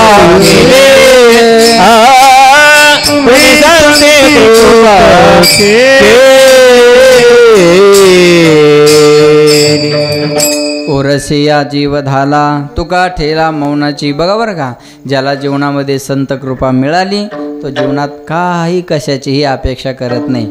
काही माणसं आम्हाला सुद्धा म्हणतात महाराज काही नको तुमच्याकडून तुमची कृपा असू द्या. बरोबर आहे का नाही? काही नको आम्हाला तुमच्याकडून तुमची कृपा असू द्या. हे आमच्यासारख्या सामान्याकडून जर तुम्हाला ही अपेक्षा आहे हे नाही. काही नको म्हणतात तुमचा आम्हाला महाराज फक्त तुमची कृपा आमच्यावर असू द्या तुमचा कृपा आशीर्वाद असू द्या. मग सांगा तुकाराम महाराजाच्या अभंगावर कीर्तन करणारी माणसं आम्ही. आमच्याकडून जर तुम्हाला ही अपेक्षा असेल तर खऱ्या संताकडून खरे सा भक्त दुसरी अपेक्षा करतील कशाला? खऱ्या संताकडून खरे भक्त पुन्हा एकदा ऐका बरं का. खऱ्या संताकडून खरे भक्त दुसरी अपेक्षा करणार नाहीत. मी उदाहरण सांगेल तुम्हाला. मागच्या वर्षी मुख्यमंत्र्याच्या सोबत एका कुटुंबाला पूजेचा मान मिळाला. आणि पूजेचा मान मिळाल्यानंतर साधारण बाया हा एकदम नऊवारी साडी घातलेली मोठं कुंकू कपाळाला लावलेलं आणि मंदिराच्या बाहेर आल्यानंतर मीडियावाल्याने विचारलं पांडुरंगाची पूजा करण्याचा मान मिळाला तुम्हाला? म्हणे हो. मुख्यमंत्र्यासोबत पूजा करायला मिळाली. म्हणे हो. किती वर्ष झाले वाऱ्या करता? अनेक वर्ष झाले वाऱ्या करतो. काय मागितलं पांडुरंगाला? ती बाई म्हणे काय नाही मागितलं. काहीतरी मागितलं असेल ती बाई म्हणे काहीच नाही मागितलं. अहो काहीतरी देवाचं दर्शन घेतल्यावर तुम्ही मागितलं असेल ना ती बाई म्हणे काही नाही मागितलं. सांगा काही मागितलं असेल तर ती बाई म्हणे हा एक मागितलं. म्हणे काय मागितलं? काही नाही त्या पांडुरंगाला. बघा बरं का सगळे त्या प्रश्नाचं उत्तर ऐकण्यासाठी आतुर होते हा. सगळ्यांचं लक्ष त्या बाई आता काय बोलते याच्याकडे लागलं जसं तुमचं लागलं ना. हां. काय मागितलं असावं या माईनं? त्या बाईला विचारलं काय मागितलं तुम्ही पांडुरंगाला? बोला. त्या बाईनं सांगितलं काही नाही. त्या पांडुरंगाला म्हणलं देवा माझे पाय तेवढे चांगले ठेव. बघा बरं का? माझे पाय तेवढे चांगले ठेव. का? मला दरवर्षी तुझ्या पायीवारी चालत येता यावं. बस एवढंच मागितलं देवा का काय माग आहे बस एवढंच मागितलं आणि आली आता दोन चार दिवसावर वारी चुकून येदी. हरी. बरोबर आहे ना? मग आता वारी जवळ आली ना आषाढी वारीचे वेध लागले ना सगळ्याला आम्हाला पंक्तीचे. बरोबर आहे ना? मग आता दिंडी चालवायची म्हणलं पंक्ती लागतील ना बरोबर आहे का नाही? मग दोन पंक्तीवाल्याला फोन केला मी या इथं कीर्तनाला यायलो मी. इकडं आमचे पुंडलिकराव आणि इकडं आमचे गजूभाऊ दोघांची दिंडीला पंगत असते बरं का? मग म्हटलं या कीर्तनाला या आणि पॉम्पलेटही घेऊन जा. बरोबर आहे? ऐका वारीचे वेद आता सगळ्याला बरोबर आहे ना माऊली? आमच्या माऊलीकडतं सगळी जबाबदारी असते सत्याऐंशी नंबर आमच्या लबडे महाराजांच्या दिंडीची आहे का नाही? मला सांगा ना मला एकच सांगायचं आहे की वारी करणारा वारकरी पांडुरंगाला दुसरं काय मागणार आहे हो? बस एवढंच मागेल की आमची वारी दरवर्षी झाली पाहिजे. वारी चुकून येदी. हरी. तुकाराम महाराजांचे आई वडील पांडुरंगाकडे जात होते ना मुलबाळ नव्हतं. म्हणून तुकाराम महाराजाच्या आईनं पांडुरंगाला सांगितलं बाबा आजपर्यंत तर तुझी वारी आम्ही केली पण इथून पुढं तुझी वारी कोण करणार? माझी कुस पवित्र कर. माझ्या कुशीत काहीतरी घाल. म्हणजे तुझी वारी चु अविरत अशी चालू राहील चुकणार नाही तुझी वारी. हेच मागणार. मग खरे साधू खऱ्या भक्ताला ऐका बरं. खरे साधू खऱ्या भक्ताला आणि खरे भक्त खऱ्या साधूला कृपा सोडून दुसरं काही मागणार नाहीत. दुसरं काही नको म्हणतात. जसं मायबाप लेकराला म्हणतात बाळा तुझ्यातलं काही आम्हाला नको देऊ. तू अमेरिकेला जरी राहिला असला तर आम्हाला रुपया पाठवू नको पण तू तिकडं सुखात राह. बरोबर आहे? तू तिकडं आनंद तू लातुरात राह पण आनंदात राह. बरोबर आहे? तू अमेरिकेत राह पण आनंदात राह. आम्हाला काय करायचं? आमच्या पोटा पाण्यापुरता आम्ही कमवून ठेवलेलं आहे. आम्हाला त्याच्यात आनंद आहे. पण तू तिकडं सुखात जरी राहिला तर बस झालं. मायबापाची दुसरी लेकराला अपेक्षा काय? बरोबर आहे ना? मायबाप लेकरासाठी एवढंच करत असतात की तू आनंदात राहावं. बस याच्यापेक्षा आम्हाला जीवनात दुसरा आनंद नाही. याच्यापेक्षा जीवनात आम्हाला दुसरा कोणताच आनंद नाही. तू सुखात असला ना आम्ही अर्ध्या भाकरीसुद्धा खुश आहे. बरोबर आहे? मायबापाला खरा आनंद काय? लेकरू सुखात असलं की मायबाप नाही जेवले तरी भुके भुके रा भुकेले राहत नाहीत बरं का ते? लक्षात ठेवा. तसं साधू संत या सज्जन लोकावर साधू संत या समाजावर कृपा केली की बस त्यांचंही त्रो पो पोट तृप्त होतं. आणि कृपा केल्यामुळं यांनाही तृप्ती मिळते. मला जी कृपा मिळाली मला जी संत कृपा माझ्यावर झाली या रसानं माझं अंतकरण आता तृप्त झालेलं आहे. ओ रसी या जीव धाला तुका ठेला मौनाची? आता पुढं काही बोलण्याची इच्छा राहिलेली नाही. मलाही पुढं आता लांबवण्याची इच्छा राहिलेली नाही. वेळ बरोबर आहे वेळ संपत आलेला आहे. पाच दहा मिनटं नंतर चालही आहे. फक्त जाता जाता ज्या निमित्तानं कार्यक्रम आहे त्या निमित्तानं आपल्या या भारतीय संस्कृतीमध्ये या भारतीय संस्कृतीमध्ये साधू संतांनी वारीला परंपरेला तीर्थाला फार महत्त्व दिलेले आहे. म्हणून महाराज म्हणले जव हे सकळ सिद्ध आहे. हात चालावया पाय तव तू आपुले सोहित पाय. तीर्थयात्रे जाय चुकू नको. जीवनामध्ये तीर्थयात्रा केली पाहिजे. हस्तो पवित्रो यदि दान पुण्य. पादो पवित्रो यदि तीर्थयात्रा. कंठो पवित्रो यदि नाम घोषो हृदयो पवित्रो यदि ब्रह्मनिष्ठा. हाताचं भूषण आहे दान करण्यामध्ये हस्तस्य भूषणम दानम. हाताचं भूषण आहे दान करण्यामध्ये पायाचं भूषण आहे कीर्तन झाल्यावर दुसऱ्याच्या चपला घालून जाण्यामध्ये. बरोबर आहे? नाही. पायाचं भूषण आहे तीर्थयात्रा करण्यामध्ये. कंठाचं भूषण आहे नामस्मरण करण्यामध्ये. आणि हृदयाचं भूषण आहे ब्रह्मनिष्ठा धारण करण्यामध्ये. मग पाय कशासाठी दिले? दिले इंद्रिय हात पाय कान. डोळे मुख बोलाया वचन. जेणे तू जोडशी नारायण नासे जीवपन भवरोग तीर्थयात्रेला प्राधान्य जास्त दिलेलं आहे. म्हणून संत नामदेवराय आणि संत ज्ञानोबाराय राय यांनीसुद्धा तीर्थयात्रा केली हा. ही वारी जे चालू आहे आपली हे ज्ञानोबारायांचा सोहळा हा तुका तुकोबारायांचा सोहळा हे या सोहळ्यात चाललेली आहेत यांनी हा सोहळा चालू केलेला आहे. तीर्थयात्रेला वेगळं महत्त्व आहे. बरोबर आहे ना? नाही तर ज्याला म्हणलं एखाद्याला म्हणलं चला पंढरपूरला आता आम्ही जातो ना या पत्रिका घेऊन. चला नेंदा ते म्हणतात नलगती साया असे जावी वनांतरा. सुखे येतो घरा नारायण. मग वारी चुको नेदी हरी हे कोणी म्हणायचं? तीर्थयात्रेला गेलं की अंतकरण शुद्ध होत असतं. अंतकरणात तुम्ही बघा ना तुम्ही वारीत जर चालत आले ना पंढरपूरच्या वारीत जो कधी माऊली कुणालाच म्हणत नाही तो कुणालाही माऊलीशिवाय बोलत नाही. एखाद्याला भांडायचं जरी असेल तर अय माऊली. बरोबर आहे ना? पण माऊली म्हणूनच बरं का? भांडायचं जरी असेल तरी माऊली. त्या तीर्थयात्रेला आलेले आता वारीत आलेले. अहो किती वेळ माऊलीशिवाय काही बोलतच नाही तो. मग हे घरी असल्यावर होणार आहे का? हे घरी असल्यावर हो हे माऊली हे माऊली म्हणणं तिकडं गेल्याशिवाय होत असतं का? नाही होणार ना. म्हणून तीर्थयात्रा करणं गरजेचं आहे. तीर्थयात्रेला गेलो पाहिजे. महाराज म्हणतात वाचावी ज्ञानेश्वरी आणि डोळा पहावी पंढरी. या दोन गोष्टी जीवनात केल्या पाहिजे हा. एक ज्ञानेश्वरी वाचावी आणि दुसरी पंढरपूरची वारी करावी. पंढरपूरची वारी करावी त्याबरोबर चार धाम आपल्या भारतामध्ये त्याला जास्त प्राधान्य दिलेलं आहे. चार धामाची यात्रा केली की माणसाला जीवनात दुसरी यात्रा करण्याची गरज नाही. असं म्हणतात जो जाय बद्री वो ना आहे उदरी. बरोबर आहे ना? ज्याने एकदा बद्रीला गेलं या उदरामध्ये पुन्हा त्याला जन्ममरण घेण्याच्या मार्गात पडायचं या भानगडीत पडायचं काही काम नाही. म्हणून अशी तीर्थयात्रा मी पण केलं बरं का ते. मागच्या लॉकडाऊनच्या तेव्हा थोडं फ्री झालं होतं लॉकडाऊन तेव्हा आम्ही सुद्धा बद्रीनाथ केदारनाथला गेलो होतो. आणि बद्रीनाथ केदारनाथला गेले बघा मेल्यानंतरचा स्वर्ग आपल्याला दिसेल नसेल मला माहिती नाही. पण जिवंतपणी या मृत्यूलोकातला स्वर्ग जर पाहायचा असेल तर त्यानं बद्रीनाथ केदारनाथला गेलं पाहिजे. मृत्यूलोकातला स्वर्ग जर काय असेल तर बद्रीनाथ केदारनाथची यात्रा आहे. तुम्ही जा. आता मला वाटतं बाबा तुम्ही पण गेले होते आहे का नाही? मग हे पण गेले होते तुम्ही विचारा. काय सुंदर आहे महाराज ते. ते एकदा पाहिल्यानंतर नाही अरे माणसं चालत चालत ते येतात. काही घोड्यावर येतात काही हेलिकॉप्टरनं येतात पण आमच्या नाजूक रावनं त्याचे नावातच नाजूक आहेत ते फक्त. नाही कळलं का तुम्हाला? नाव तेवढं नाजूक आहे पण त्यानं ते पायी गेले आणि पायी आली. जवळपास मला वाटतं ब्याण्णव किलोमीटर त्यांनी पायी प्रवास केला बरं का. ब्याण्णव किलोमीटर. मी त्यांच्यापेक्षा तरुण आहे पण मी हेलिकॉप्टरनं गेलतो. जाताना हेलिकॉप्टरनं गेलो आणि येताना चालत आलो होतो बरं का. त्याचा अर्थही असा होता की म्हणलं हेलिकॉप्टरमध्ये बसाय मिळतं आणि त्रासही होत नाही. बरोबर आहे का नाही? हां त्रासही होत नाही असा का अर्थ नाही. येताना आम्ही चालत आलो. पण एवढं सुंदर आहे बद्रीनाथ केदारनाथ गंगोत्री यमुनोत्री. हे याला चार धाम म्हणल्या जातं तिकडचे चार धाम हे आहेत हां. बद्रीनाथ केदारनाथ गंगोत्री यमुनोत्री याला तिथं चार धाम म्हणल्या जातं. बरोबर आहे? म्हणून हे चार धामाची यात्रा त्यांनी सहपत्नीक आमच्या आईवडिलांनी पण केली हां. आणि यांनीसुद्धा ही चार धामाची यात्रा पूर्ण केलेली आहे. म्हणून म्हणतात तीर्थयात्रे सुखे जाऊ. बरोबर आहे? वाचे विठ्ठल नाम गाऊ. बरोबर आहे?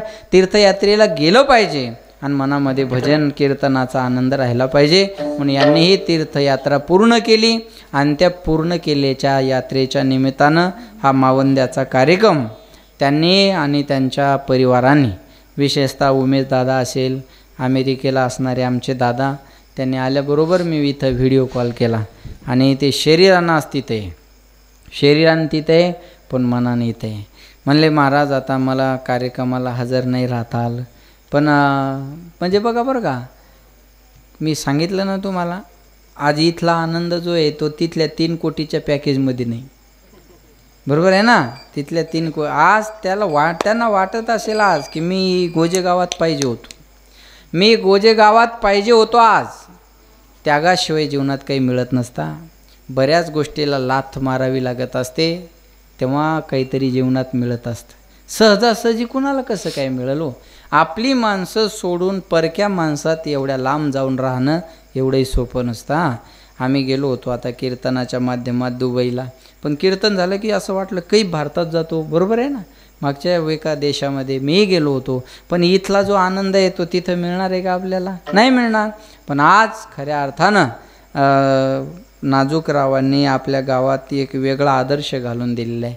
दोनही मुलं त्यांचे बंधूचाही मुलगा तोही आता चांगल्या नोकरीला लागला आणि एवढं असून गावाशी नाळ जोडलेली आहे. म्हणजे एवढं काही सगळं असूनसुद्धा आपल्या गावाची नाळ जोडलेली आहे.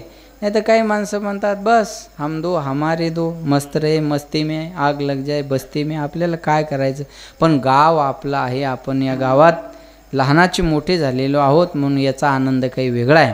म्हणून आई वडिलाच्या या उपकारातून उत्तराई होण्यासाठी या दोनही मुलांनी हा कार्यक्रम या ठिकाणी आयोजित केला. हा सुंदर नेहमी नेहमी वेगळा काहीतरी करण्याचा उमेददादाचा प्रयत्न असतो बरं का. आपण काहीतरी वेगळा कार्यक्रम करावा गावाला त्या माध्यमातून अन्नदान व्हावं. मी म्हणलो होतं त्यांना मागे म्हटलं आपण सकाळी कीर्तन करू. ते म्हणले त्या टायमाला लोक जेवायला येत नाही हो महाराज. लोक जेवायला आले पाहिजे आपल्याकडे. लोक जेवायला आले आणि लोक जेवून गेले मग कीर्तनाचं पाहून घेऊ म्हणे आपण आहे का नाही लोक जेवून गेले का कीर्तनाचं पाहून घेऊ. म्हणजे खरा आनंद कशात आहे? लोकाला खाऊ घालण्यात आनंद आहे. बरोबर आहे का नाही? एका वाक्यात बोलेल मी तुम्हाला हिसकावून खाणाराचं कधी पोट भरत नाही आणि वाटून खाणारा कधी उपवाशी राहत नाही. जो वाटून खाणारा आहे ना त्याच्या जीवनात उपवाशी राहायची गरज नाही महाराज तो उपवाशी राहू शकत नाही. पण आज खऱ्या अर्थानं नाजूक रावांची आणि सुशीला माईची ही तीर्थयात्रा या ठिकाणी भगवंतानं संताच्या कृपेनं संत कृपेशिवाय हे होऊ शकत नाही हा. संताच्या कृपेनं मी तुमच्यातलं उदाहरण सांगेल. एखाद्याला म्हणलं चला पंढरपूरला. ते म्हणतात ना आमचं कुठं एवढं भाग्य आहे महाराज? खरं आहे शब्द. काय बरं का हे खोटं नाही हा. काय म्हणतात आमचं कुठं एवढं भाग्य आहे महाराज? अजून माऊलीच्या आमच्यावर तशी कृपा झाली नाही.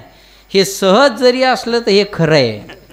कारण माऊलीची कृपा झाल्याशिवाय माऊली तुम्हाला वारीत कसा प्रवेश देतील? मिळणारच नाही महाराज. त्यांची कृपाच व्हावी लागेल तेव्हा आपल्याला त्या वारीत प्रवेश मिळेल.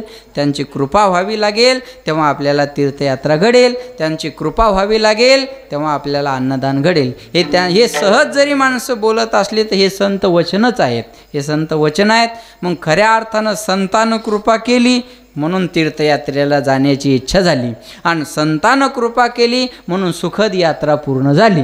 नाही तर Badrinath Kedarnath not a joke. एवढी सोपी गोष्ट नाही महाराज ती. पूर्वी माणसं चालली की रडायची वगैरेची. बरोबर आहे? गंध लावायचे ओवाळायचे आणि रडायचे.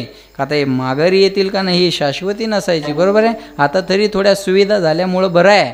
लक्षात ठेवा. पण एवढी मोठी खडतड यात्रा हा जीवनाचा प्रवास या दोघाही पती पत्नीनं आणि आनंदाची गोष्ट आहे म्हणजे ट्रॉली ट्रॅक्टर संघ बरोबर आहे ना? दोघांनी सोबत केली याचा आनंद काही वेगळा असतो. आणि आपले खेड्यापाड्यातले माणसं कुठं जातही नाहीत ना महाराज? आपल्या सगळ्या आता हे मोठे मोठे लोक यांची सहा महिन्याला एक कुठंतरी यात्रा टूर असतो. मग कुठं विदेशात जातील कुठं गोव्याला जातील कोणी मुंबईला जाईल कोणी कुठं जाईल. पण आपलं फिरणं वारी आपला एन्जॉय वारी आपला आनंदसुद्धा वारी. बस आपलं खेड्यापाड्यातल्या लोकांचं आहे काय? वारीला जाणं म्हणजे फिरणं बी आणि भक्ती बी. त्यांच्या मनातला हा भाव असतो बरं का. वारीला आम्ही गेलो की झालं महाराज आता आम्हाला वर्षभर कुठं जायचं काम नाही. काय म्हणतात ही पंधरा दिवसाची चार्जिंग आम्हाला वर्षभर पुरती. बरोबर आहे ना? आम्हाला ही पंधरा दिवसाची चार्जिंग वर्षभर पुरती. म्हणून संताच्याच कृपेनं ही यात्रा सुखकर त्यांनी पूर्ण केलेली आहे. आणि गावाला हा ज्ञानदानाचा अन्नदानाचा कार्यक्रम ठेवला. खरंच द्यावेत तेवढे धन्यवाद या परिवाराला थोडे. आहेत आणि पावसाळ्याचे दिवस असूनसुद्धा पावसानेही कृपा केली. जशी संतांनी कृपा केली तशी पावसानेही आपल्यावर कृपा केली. थेंबसुद्धा पाऊस आला नाही. येणार बी नाही महाराज. एक थेंबसुद्धा पाऊस कीर्तन होईपर्यंत येणार नाही. आणि आलात बंद करू. दुसरं काय त्याच्यात? म्हणजे काय एवढी पावर आपल्यात नाही बरं का? कोणी म्हणाल पाऊस येणार ना असं काही नाही. आलात बंद करायचा दुसरं करणार काय आपण? बरोबर आहे का नाही? पावसाने एक कृपा केली अन्नदानही छान झालं जेवणही छान झालं. पण एकच आहे की दादाला हजर नाही राहता आलं. एवढं एक शोकांतिका आहे. पण त्याच्यासाठी यूट्यूबची व्यवस्था केलेली आहे की बा त्यांना हे कीर्तन पाहता यावं. त्यांना हे कीर्तन ऐकता यावं म्हणून यूट्यूबची या ठिकाणी व्यवस्था केली. आपल्या लेकरांनी ऐका बरं श्रीमंती कोणती आहे? आपले लेकरं आज्ञाधारक निघावे. याच्यासारखी श्रीमंती माणसाच्या जीवनात कोणतीच नाही. बायकोची श्रीमंती कोणती आहे? नवऱ्याने सुख द्यावं. ही झाली बायकोची सगळ्यात मोठी श्रीमंती.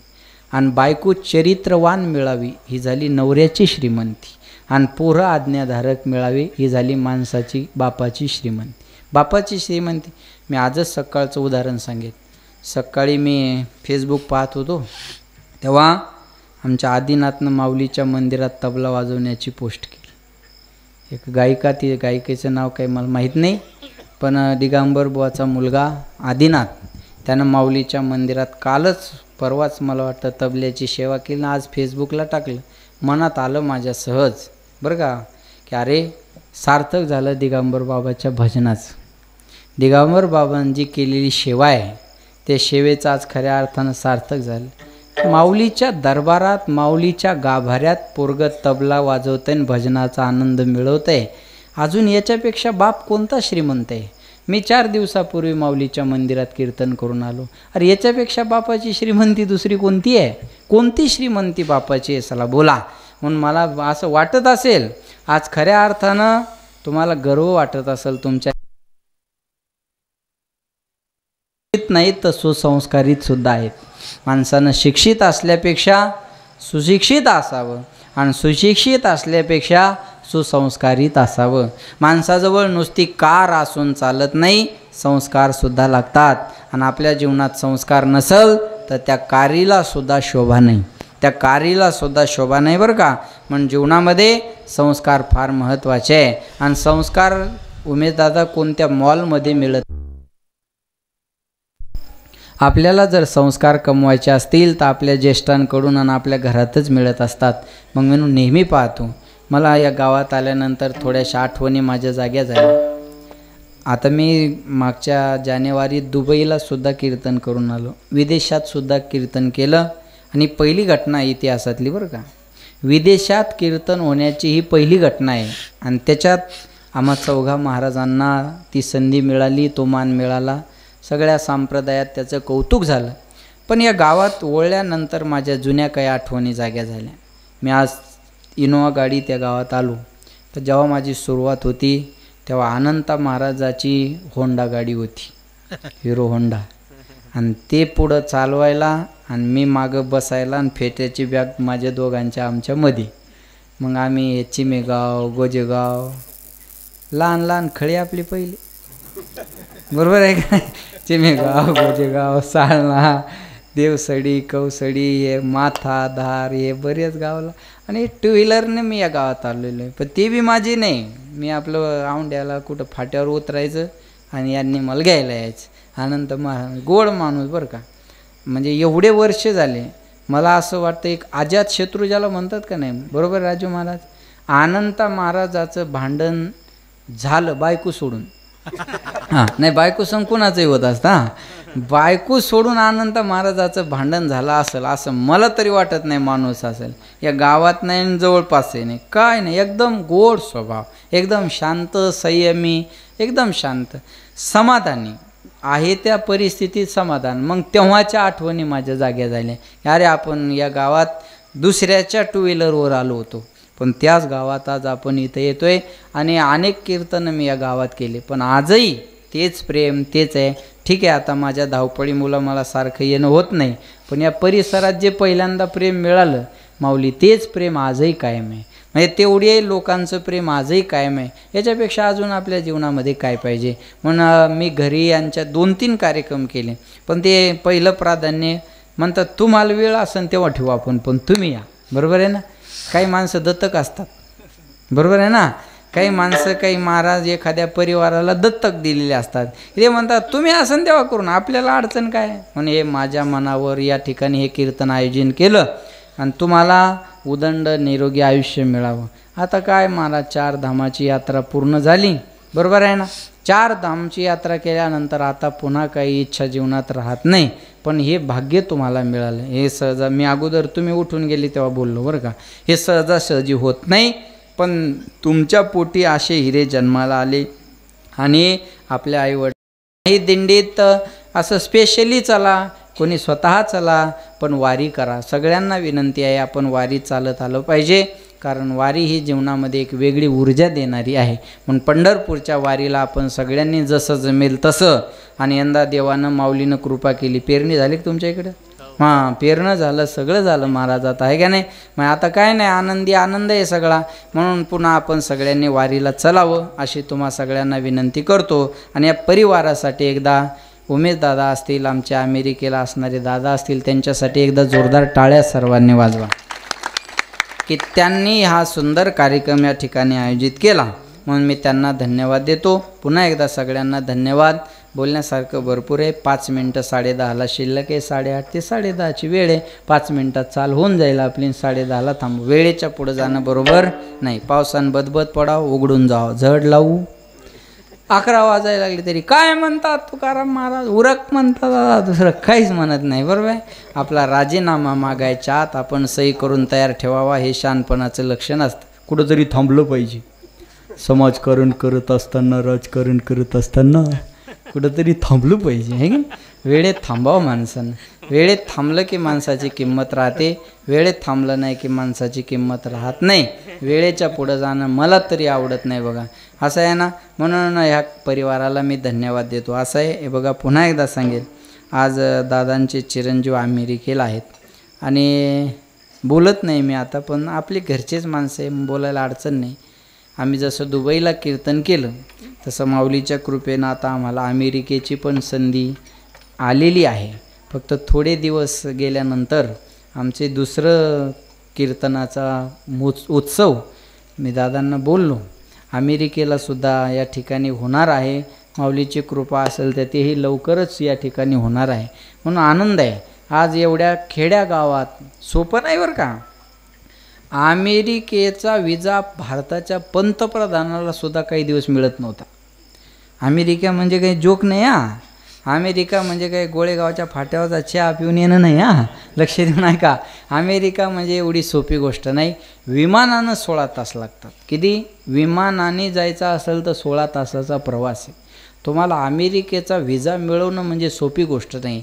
तुम्हाला अमेरिकेत राहायचं असेल तर तुमच्या खात्यावर किमान एक कोटी रुपये लागतात. खात्यावर एक कोटी रुपये असले तर तुम्ही तिथले राहू शकता नाही तर राहूसुद्धा शकत नाही. लक्षात ठेवा.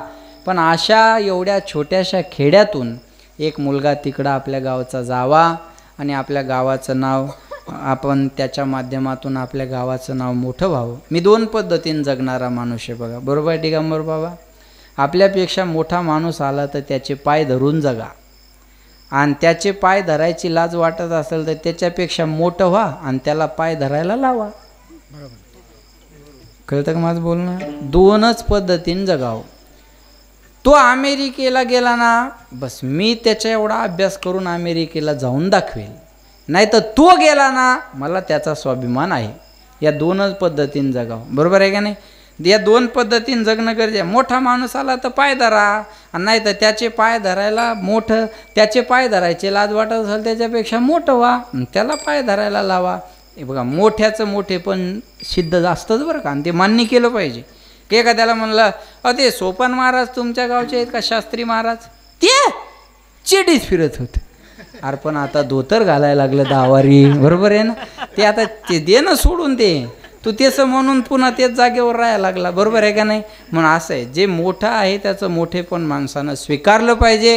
म्हणून पुन्हा एकदा या परिवाराला मी धन्यवाद देतो आणि माझ्या या वाणीला विराम देतो. पुन्हा सर्व मृदंगाचार्य गायनाचार्य महाराज मंडळी सर्वांच्या चरणी सेवा समर्पित आणि वाणीला विराम हां. ज्ञानेश्वर मावली जीवधाला ओरसे जीवधाला ओरसेया जीवधाला ओरसेया जीवधाला तुका ठेला मौना तुका ठेला मौना तुका ठेला मौनाचे तुम्ही सांगते कृपा केली. तुम्ही सांगते कृपा केली. तुका ठेला मौनचे. तुका ठेला मौनचे तुम्ही संते कृपा केली तुम्ही संते कृपा केली गंगे चाले ओ घाचे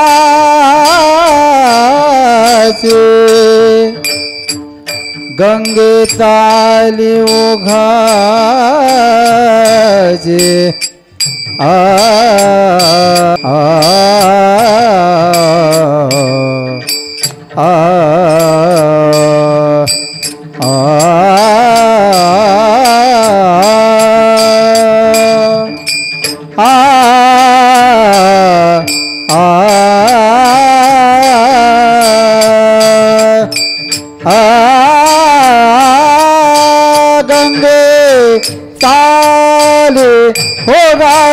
गंगे चाले हो घासे.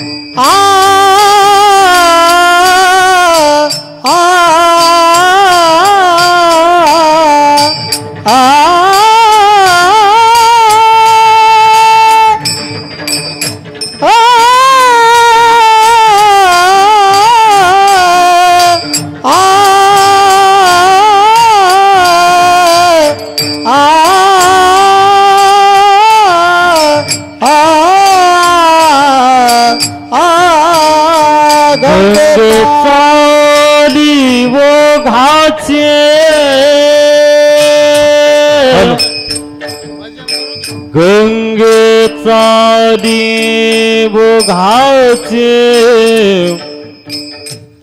ओ घाचे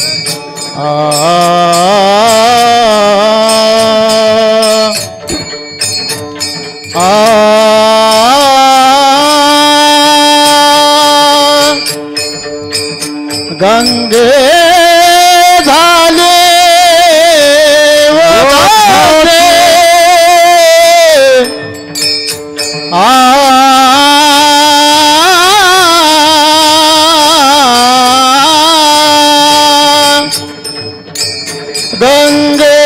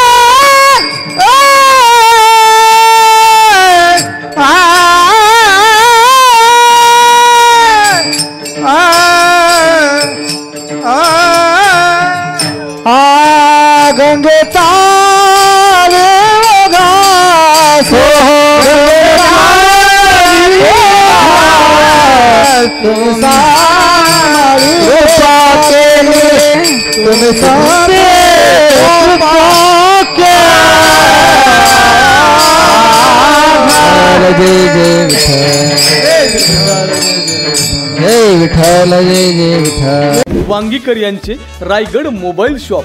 आपल्याकडे Samsung Oppo Vivo Redmi one plus सर्वच ब्रँडेड कंपनीचे मोबाईल व मोबाईल दुरुस्ती आणि सर्वच नामांकित कंपनीच्या L E D T V उपलब्ध आहेत. कारण Bajaj T V S Samsung H D F C इतर झिरो टक्के फायनान्स सुविधा उपलब्ध. आता भेट द्या वांगीकर यांचे Raigad mobile shopping station road Parbhani. Mobile shopping station road Parbhani.